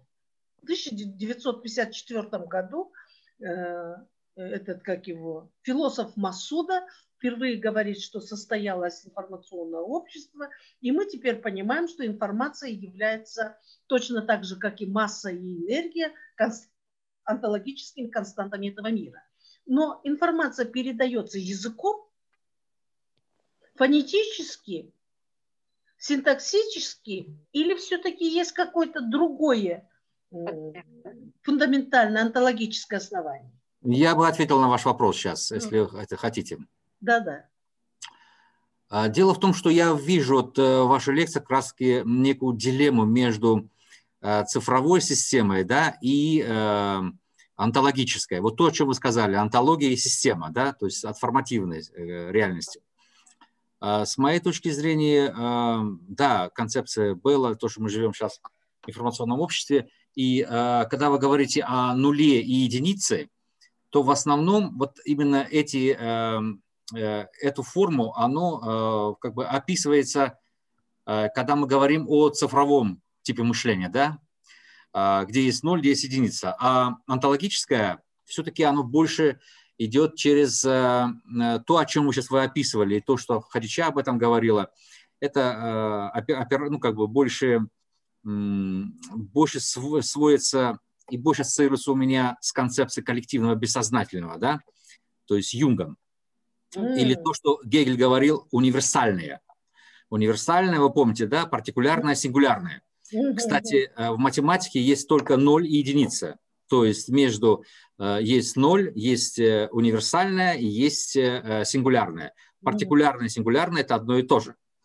Только в философском языке есть партикулярное, которое имеет свой особый статус. Вы знаете, большую логику Гегеля. То есть там как раз этот как раз показывает то, что э, цифровое мышление может хорошо выстраивать, но э, достаточно имеет определенные трудности, по крайней мере на сегодня, в образовании значений и смыслов. Э, то есть то, что выходит за пределы, э, как бы сказать, вот, э, цифрового языка, да, то есть значение и смысла. Иногда его хотели даже, у Wittgenstein они хотели просто иногда его исключить.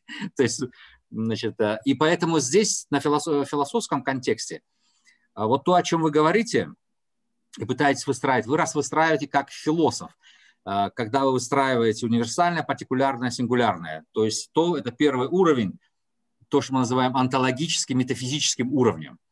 А вот второй уровень, а оно внутри, например, э, того же разнообразия, то есть вот, например, есть традиция, да, вот то, о чем говорила Хадича, где основано на памяти больше, да, на а, концепции коллективного бессознательного, то есть системы ценностей, истории, значит, долг, она э, как бы значит, артикулируется на языке различий. Вот на языке различий это то, где мы называем, вот это мы переходим от платонской системы к аристотельской системе, которая строится на как концепция различий полезности.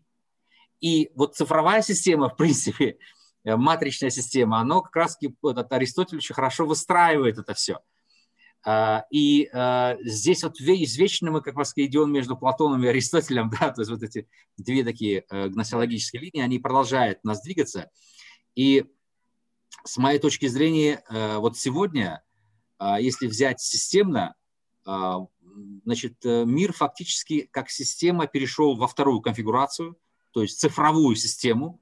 Мы называем транснациональной системой иногда, может как-то по-другому то, что связано с гражданским сектором, да, то есть э, или уровнем различий, как у Жильделеза, то есть это вот э, уровень э, различий транснациональных корпораций, то, что называем цифровым, оно, вот статус-кво сегодня, она является доминирующим. Это не значит, что другие. Она просто преодолевает вот эту онтологическую традиционную систему.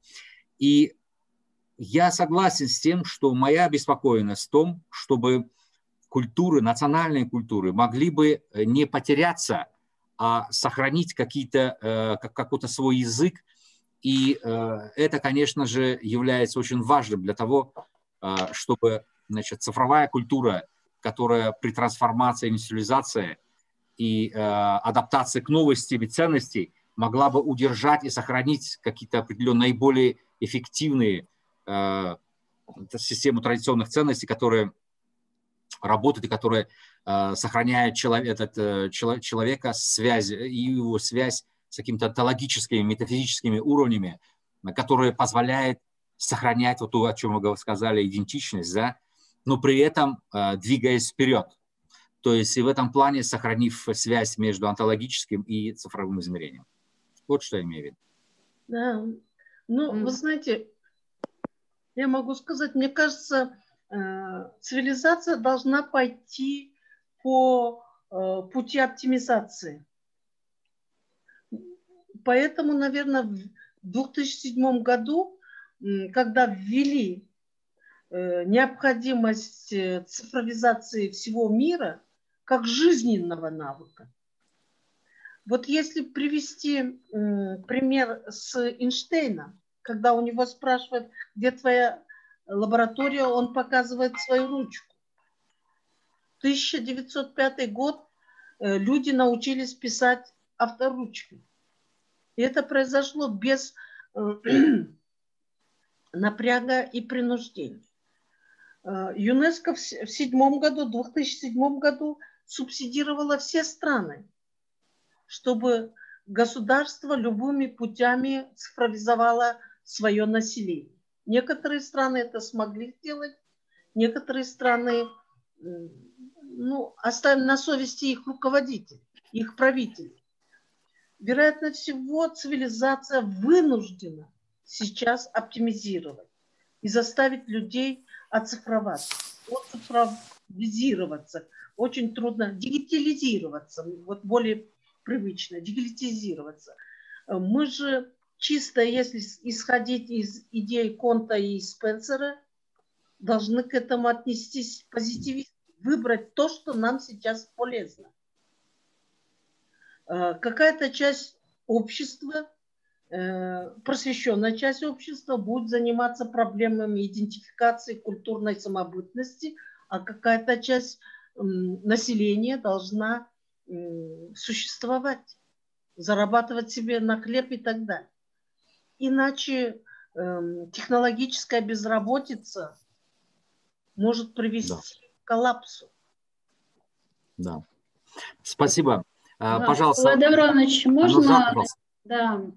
А, Кулыпай Мукашевна, меня зовут Нуржауар, я вас приветствую из Казахстана. Да, спасибо за такую а, животрепещущую тему и очень интересно представили.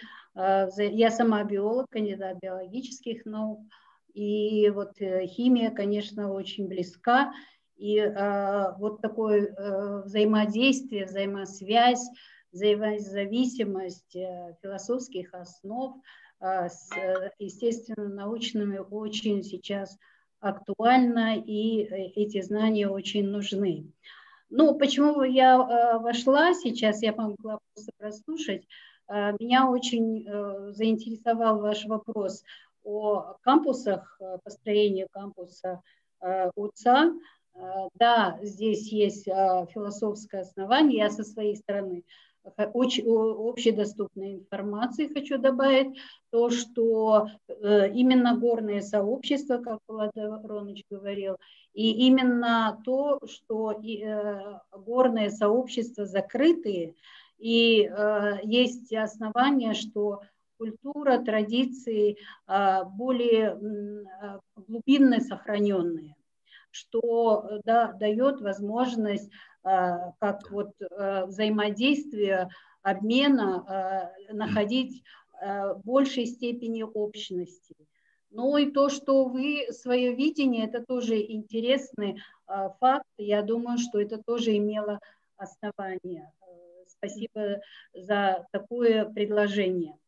Ну и что касается, вот вы говорите язык, я больше склонна говорить слово, а, и сейчас это направление и всю жизнь а, вот сейчас более актуально поднимает а, у нас всем известный Ужас Умарович Сулейменов. Буквально в прошлом году он провел под его идеей была проведена международная большая конференция с участием ЮНЕСКО «Археология слова». Именно слово, именно а, вот изучение а, археологии слова а, дает большое основание исследования истории. И здесь я бы хотела, ну, вы помните его это произведение «Азия», слово о полку Игореве, и то, что вы сейчас о Санжира говорили, это и понятно казахским, казахскому народу, как Жирау, а, устное творчество, и что а, на основании это все э, э, тюркские основы, и многие слова, перешедшие э, в использование других народов, имеет какое-то основание тюркское. Поэтому есть, вот отслеживая это, можно и истории, новые страницы открыть в истории. Вот, такая была, вот такой посыл был. Но я хотела бы сказать о том, что э, вот основная ваша идея э, информатизация, что оптимизация, как вы говорите, э, что это и будет иметь такое, как естественный отбор в биологии говорят, что это такое более нужное, а, совершенное а, на будущее. Ну, э, в этом можно и поспорить, и а, смодулировать очень много, и, конечно, отрицательных моментов.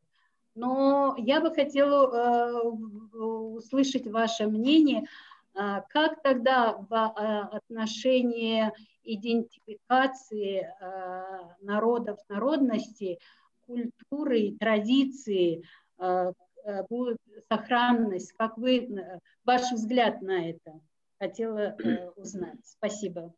Большое спасибо. Ну, мне кажется, я смогу потом адреса получить, да, господин Шазимов? Да, безусловно. Да, да. Да, Кулюпа. Вопрос очень интересный, да? Вот вы знаете, феномен Казахстана, казахского языка у них появилось э, явление кайтарылган тиль. Возвращенные возвращенцы казахи привезли им казахский язык. Не секрет, что в Казахстане казахский язык стал исчезать, а с получением суверенности в Казахстан въехали очень большое количество казахов из-за границы, в частности с Турции, с Китая, с России. И они привезли сохраненный язык. Вот такой феномен мне удалось услышать в семнадцатом году в Германии, докладывала казашка. Вот.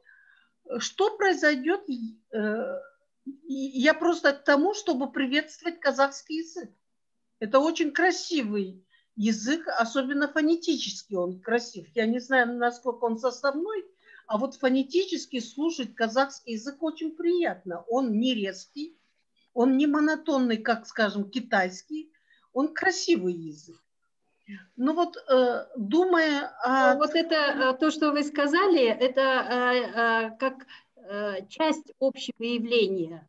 Да, что да. исчезает. Да, извините, извините. Говоря о цифровом обучении, мне кажется, что контент, то есть основное содержание каких-то дисциплин, мы сможем передать через цифровые технологии. Например, скажем, математику, химию э, или ту же биологию, да, контент. Именно как информацию. А вот когда будет э, возможность аудиторного занима, э, занятия, обучения, там мы уже сможем более творческие, необходимые Э, человеческого присутствия проводить занятия. Вот э, до шестого мы находимся, российские преподаватели, на каникулах. Шестого начнется смешанное обучение. То есть эм, даже философия пойдет семинарский, мы будем проводить в аудитории, там, где требуется обучение, э, общение, а лекции будут идти в цифровом формате. По крайней мере, есть такое вот сейчас нам предписание, что 6 февраля э, часть общества, особенно преподаватели, которым нет 65 лет, придут, а вот э, ну, философская э, часть тоже придут в аудитории, мы будем проводить аудиторно-семинарские занятия. В общем случае, мне кажется, что э, цифровизация как технология обучения освободит э, многих преподавателей и студентов, обучаемых от общения, зато позволит им заниматься творчески.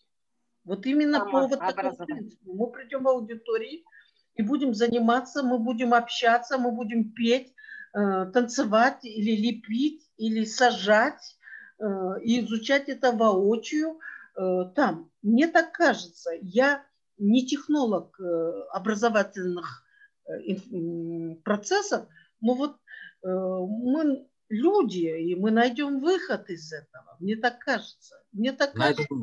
И для этого есть мастера. Вот когда первый раз УЦА образовался, я первый выпускник да, не выпускник, а участник. Э, ПАХЧ вы называете, ПАХЧ, да? Да, вот. да. Агахан человековедения, да. Да, мне показалось на тот момент, я отказалась тогда ехать э, в Будапешт, в университет открытого, открытый университет Будапешта, по одной простой причине, потому что было прочувствовано, что кто-то меня нанимает. Вот на тот момент у меня был отец коммунист, и он сказал, никуда ты, конечно, не поедешь. Но когда я пришла туда, и вот это живое общение, это была новая технология обучения. Кейс-стадии, э, люди говорили, мы были абсолютно свободны, хотя уже технология того, что люди разной религиозной ориентации могут столкнуться, эта технология уже шла, но мы там почувствовали себя очень хорошо. Это был выход. Пользуясь э, моментом, я хочу спросить, как все-таки будет это продолжаться или нет? Ведь можно же онлайн а, организовать это обучение. Вот, вот к вам вопрос. Да, вот, э, я. Я полагаю, что вот за это время э, мы подготовили более 1800 преподавателей вот именно по тому курсу, который вы проходили, сертифицированный. Да. и это на уровне бакалавриата, да, и э, мы достигли такой вот именно критической, как бы сказать, точки, да, когда, значит, мы вышли на большое количество преподавателей, у нас э, вот в настоящий момент 94 меморандумов э, взаимопонимания с университетами, колледжами трех стран и Академией наук. Mm-hmm. И сейчас мы уже выходим как бы на магистрский курс «Картина мира Центральной Азии», включая э, уже самих ученых, это, выдающихся ученых Центральной Азии, чтобы они самостоятельно показывали э, значит, э, такие блоки это, культуры, системы ценностей, истории, экономики, ну то есть не чистой экономики, а то, как артикулируется культура на языке экономики и э, экология, то есть как некий такой, некий такой конструкт. И вот эти три компонента в трех странах э, мы э, значит, создаем э, вот те кейс-стади, те кейс-стади тоже создаются самими же участниками. И вот та методика, о которой вы говорили, а, мы его интегрировали в создание курса. И фактически сейчас это идет не просто преподавание, а созидание материала через именно этот. И да, да, студенты, сами, э, сами участники находятся в этом процессе, уже создали и концептуальный указатель, и мы включили и такой инновационный формат. И э, сейчас э, э фактически э, мы сейчас хотим, чтобы сами магистранты через вот именно э, через прохождение вот именно э, кросс-культурного и кросс-дисциплинарных, как бы сказать, э, подходов могли бы сами предложить те вопросы, которые являются актуальными для Центральной Азии, с одной стороны, и с другой стороны, включиться в исследование этого, этого курса. Но параллельно мы думаем о том, чтобы сохранить некую базу, артикулировать этот потенциал, который у нас есть 1800, найти форму для того, чтобы мы могли бы организовать. Э, ну, конечно же, вот так ресурсы неограниченные, и это, они ограничены, то есть, и, естественно, но можно создать такую, так, э, такую форму, где бы сами э, преподаватели могли бы сами же создать устойчивость этого развития и дальше самостоятельно проводить вот именно эти курсы с включением для того, чтобы на базе вот именно этих э, значит, ресурсов создать новые инновационные вещи. Инновационные вещи, о которых сейчас мы сейчас сделаем. Мы, кстати, KHP, вот сейчас это Пахч, проект человековедения, мы создали электронную интерактивную этнографическую карту. Она у нас пока свободная где включается для трех стран. Мы включили известных э, географов, э, специалистов в области экономики, истории, культуры трех стран, пять директоров Института Академии наук, э, директоров Института Академии трех стран, плюс выдающиеся известные наши ученые, географы, включали создание это. И мы все это цифровали, это, это проводим цифровизацию, оно, оно находится у нас в цифре. И э, данные э, с момента независимости трех стран – это в области миграции, в области э, GD, ну, как бы валового продукта, культуры, каким образом происходит вот именно взаимодействие этого. Э, и для студентов уже у студентов появляется возможность э, видеть эти связи. И мы хотим включить вот компоненты в этом году, мы будем работать над экологией, для того, чтобы включить еще экологический компонент, потом эти связи – и дать возможность молодым, этот, э, молодым магистрантам, чтобы они включились и проявляли свою инициативу для того, чтобы э, как бы создавать новые э, дискурсы, новые усложненные дискурсы понимания того, каким образом можно сохранить лучшие традиции национальные, как это можно создать, найти некую, некий такой социальный капитал Центральной Азии, как на национальном, так и на региональном уровне, который позволит, как говорил э, Фрэнс Фукаяма, создать дополнительный стимул для развития экономики, потому что экономика, она тоже э, развивается на э, хорошем социальном капитале. Но важно его артикулировать хорошо на экономическом уровне, э, чтобы придать устойчивость экономическим процессам. Не просто там этот, э, как бы копирование, да, а лучших традиций, лучших традиций э, экономических, но они должны также опираться на неком таком социальном доверии, естественно, социальном капитале и а, реализация ее, как бы, ее институализации на таком, как бы сказать, э, таком уровне конструктивизма. Да? И вот эти навыки, они у нас закрепляются через цифровую систему, через дебаты, которую мы создали, как инновационную форму дебатов, где включаются все эти уровни системы ценностей, рационально-инструментального уровня и социального конструктивизма в разных уровнях статус-кво онтологического, э, рационально-инструментального э, и, э, как бы сказать, политического уровня. То есть эти уровни у нас уже активно, значит, мы создали даже цифровую систему, значит, вот разработали недавно кросс-дебатного формата, который сейчас будем мы проводить в Казахстане, Казахстане и Кыргызстане, проводить тренинги.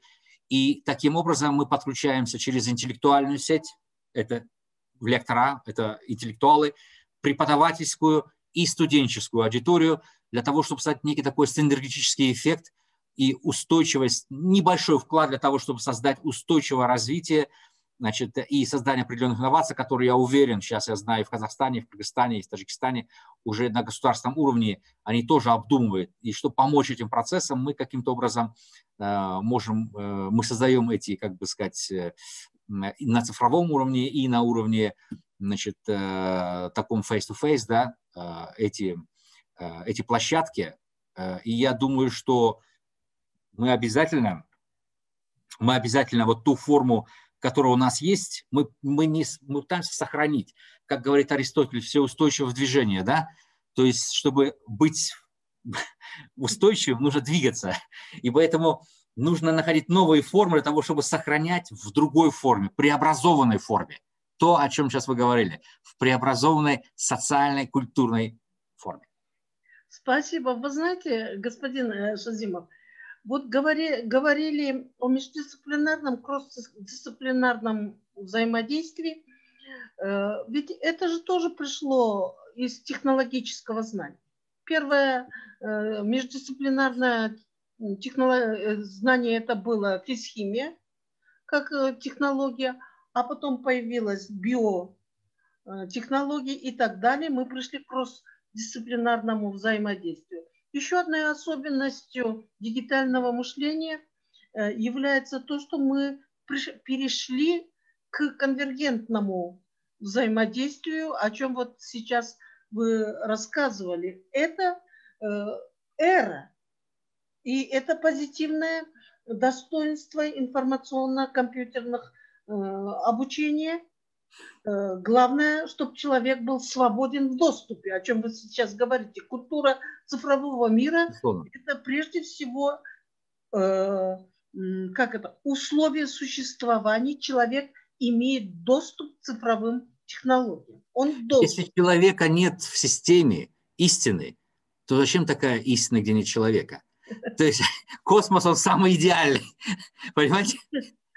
Поэтому если мы с вами говорим о культуре, и не то что противоставление, а становление, чтобы не отстать от других Безусловно. регионов мира нашего, нам необходимо обеспечить доступ. Это уже будет, э, это уже будет ценность свободы. Из этого аспекта э, образование – это условие, а доступ к гаджетом, это есть эм, элемент свободы человека. Ну, кстати, вот, кросс-дисциплинарный, кстати, кросс, кросс, кросс-дисциплинарный подход, о чем сейчас вы говорили, мы говорили, да, с вами, и междисциплинарный. Это абсолютно верно, вы сказали, естественно, научный. Но э, конструкция и философское обоснов... это, это обоснование концептуальное, оно выстраивается через философию. Потому что философия создает определенную конструкцию. Взять э, кросс-культурный, э, кросс-дисциплинарный аспект который включает все мульти, э, междисциплинарные и трансдисциплинарные подходы. Оно соответствует а, примордиальному, рационально-инструментальному и социальному конструктивизму. То есть и обеспечивание связи, обеспечивает философия. То есть философия, она нигде, но она обеспечивает связи и возможность существования, онтологическое обоснование этих дискурсов. И в этом вот. плане мы как раз и собираемся... Из-за того, что онтологически всякое знание человека едино, и мы все люди. Все правильно, да, да, да. Это, поэтому, да, да. Спасибо. Спасибо Если огромное. У нас время уже а, как бы подошло к концу. Огромное спасибо за а, вашу прекрасную, глубокую и э, действительно э, лекцию, которая ставит очень серьезные вопросы. И я бы сказал бы, что э, те лекции, которые вызывают вопросы, они иногда более важны, чем когда они отвечают на вопросы. И в этом плане э, вы вызвали очень хорошую, очень хорошее обсуждение, вопросы, э, которые невозможно решить сегодня, и они будут являться предметом для нашего размышления. Вам огромное спасибо за лекцию и участникам за их, за то, что они подключились. Будем Влад на связи обязательно. Да. Спасибо. Влад Авронович, извините, я вот хотела показать Улипе Мукашевне, она спрашивала о лекции, о публикации лекций, о том, что вот серия публичных лекций издана вот в таком сборнике. Ваша лекция также будет включена в следующий наш сборник, поэтому жду текст вашей лекции. И вы спрашивали об индексе, да? Влад Авронович, вы можете сейчас спросить сразу. Я покажу сейчас вам лекции. Вот недавно да. вышла книга, видите? Да, да, да Э, серия публичных лекций. Наверное, перевернуть надо, да? Вот нет, так, нет, нет, вы правильно показываем. Да. Вот серия публичных лекций. Видите, за разные годы, то есть это, а, это первая была лекция, да, брошюра небольшая. Здесь э, э, такая большая серия. То есть все лекции в четыре книги, это у нас четыре уже книги за, э, начиная с 2012 года мы публикуем, и это очень хороший резонанс. Многие преподаватели Значит, э, у нас, кстати, там разные дисциплины, специалисты разных, э, а, специалисты разных дисциплин, и все известные, там и это, гуманитарного, и научного, там творческие, творческая интеллигенция. И вы знаете, вот этот, э, вот этот потенциал, который мы имеем, тех интеллектуалов, мы именно же на их основе сделали мастерскую программу, вот мастерский курс, это «Картина мира Центральной Азии». То есть они выступили, мы их увидели, мы пригласили. То есть вот этот потенциал был практически использован нами для того, что, то есть на, на той базе, которую мы создавали. И вот ну, именно это, не просто это мы откуда брали, а именно а, на этой базе. И это очень важно. И поэтому я думаю, что ваша э, лекция, и мы просим Э, чтобы вы прислали лекцию в таком. Э, мы, кстати, у нас есть идея о создании электронного журнала, такого рецензируемого, э, по значит, гуманитарным и естественно-научным знаниям, там, по философским аспектам. И мы обдумаем этот вопрос и обязательно под, подключим. Я думаю, что у нас есть интересные проекты, будут проекты, связанные с развитием развитием вот именно тех вопросов, которые вы поставили, и, и других вопросов, которые ставят интеллектуалы. То есть все вопросы, которые мы, э, э, мы слышим от наших интеллектуалов, э, мы обязательно принимаем их во внимание, обдумываем и находим форму для того, чтобы создать какое-то устойчивое развитие вот именно этой тенденции, этого дискурса. Потому что это и есть... лектор, да? Да. Вам большое спасибо за предоставленную платформу. Ага. Вы знаете, я пыталась, я волновалась, очень волновалась, Нет, потому прекрасно. что эм, Прекрасная лекция. Ответственность очень высокая, э, выступить перед вами и высказаться.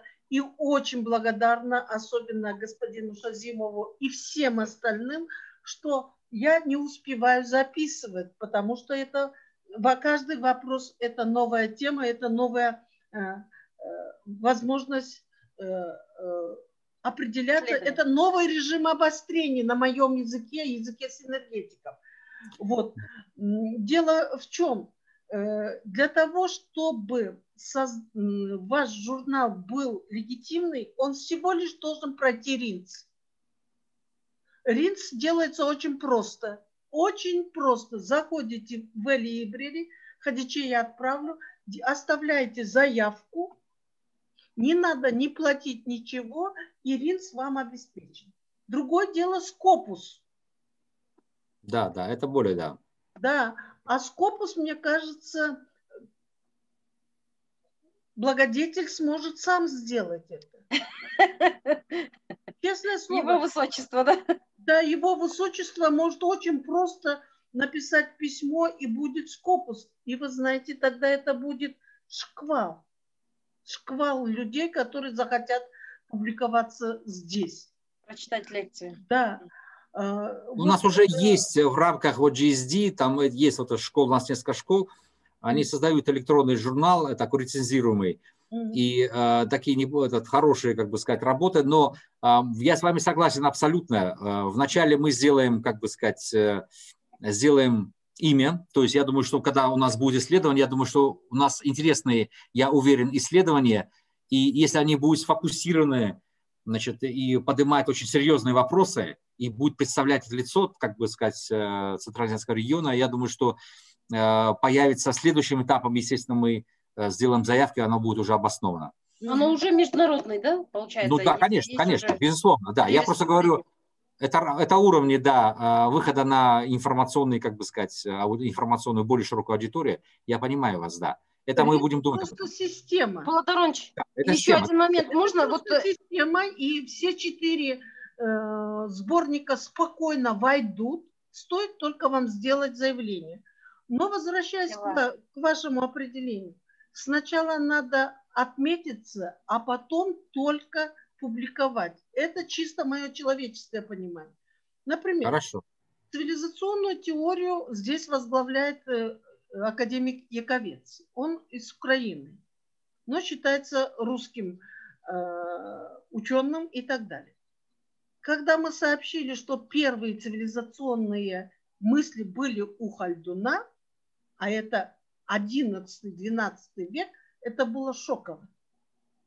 Потому что идея нации как таковой – это приобретение Центральной Азии, когда шла, э, шло великодержавное рассвет культуры и так далее. Появилась и философия, философема нация. И это была идея Хальдуна. А потом она уже перешла в Европу.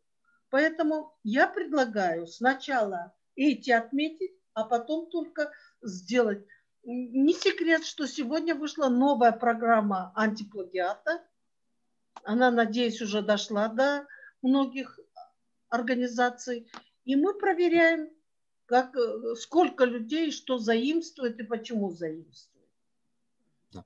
Владимир Иванович, можно еще один момент э, скажу да. о том, что была запись этой лекции, и мы, конечно, со всеми участниками поделимся, и с вами тоже, Кулипа Мукашевна, вы сказали, не все успевали записывать, но думаю, что в записи вы можете еще раз прослушать. И приветствую Нурлану Алымкуловну, которая тоже к нам присоединилась, профессор, член комитета ПАХЧ Кыргызстан. А вот сидит еще один Эмиль. Да, это, это Нарынский университет. Философ а. Нарынский. Нарынс, Эмиль Мурат Сейдахматов. Да? Угу. Мурат Сейдахматов. Угу. Большое спасибо. Вам огромное спасибо за прекрасную это вам спасибо. Каждому. лекцию. Я вам э, все, все, все электронные адреса, те, кто участвовали, и будем включать вас рассылки для того, чтобы вы участвовали в наших э, мероприятиях. Я уверен, да, я уверен, что мы обязательно с вами э, встретимся еще раз.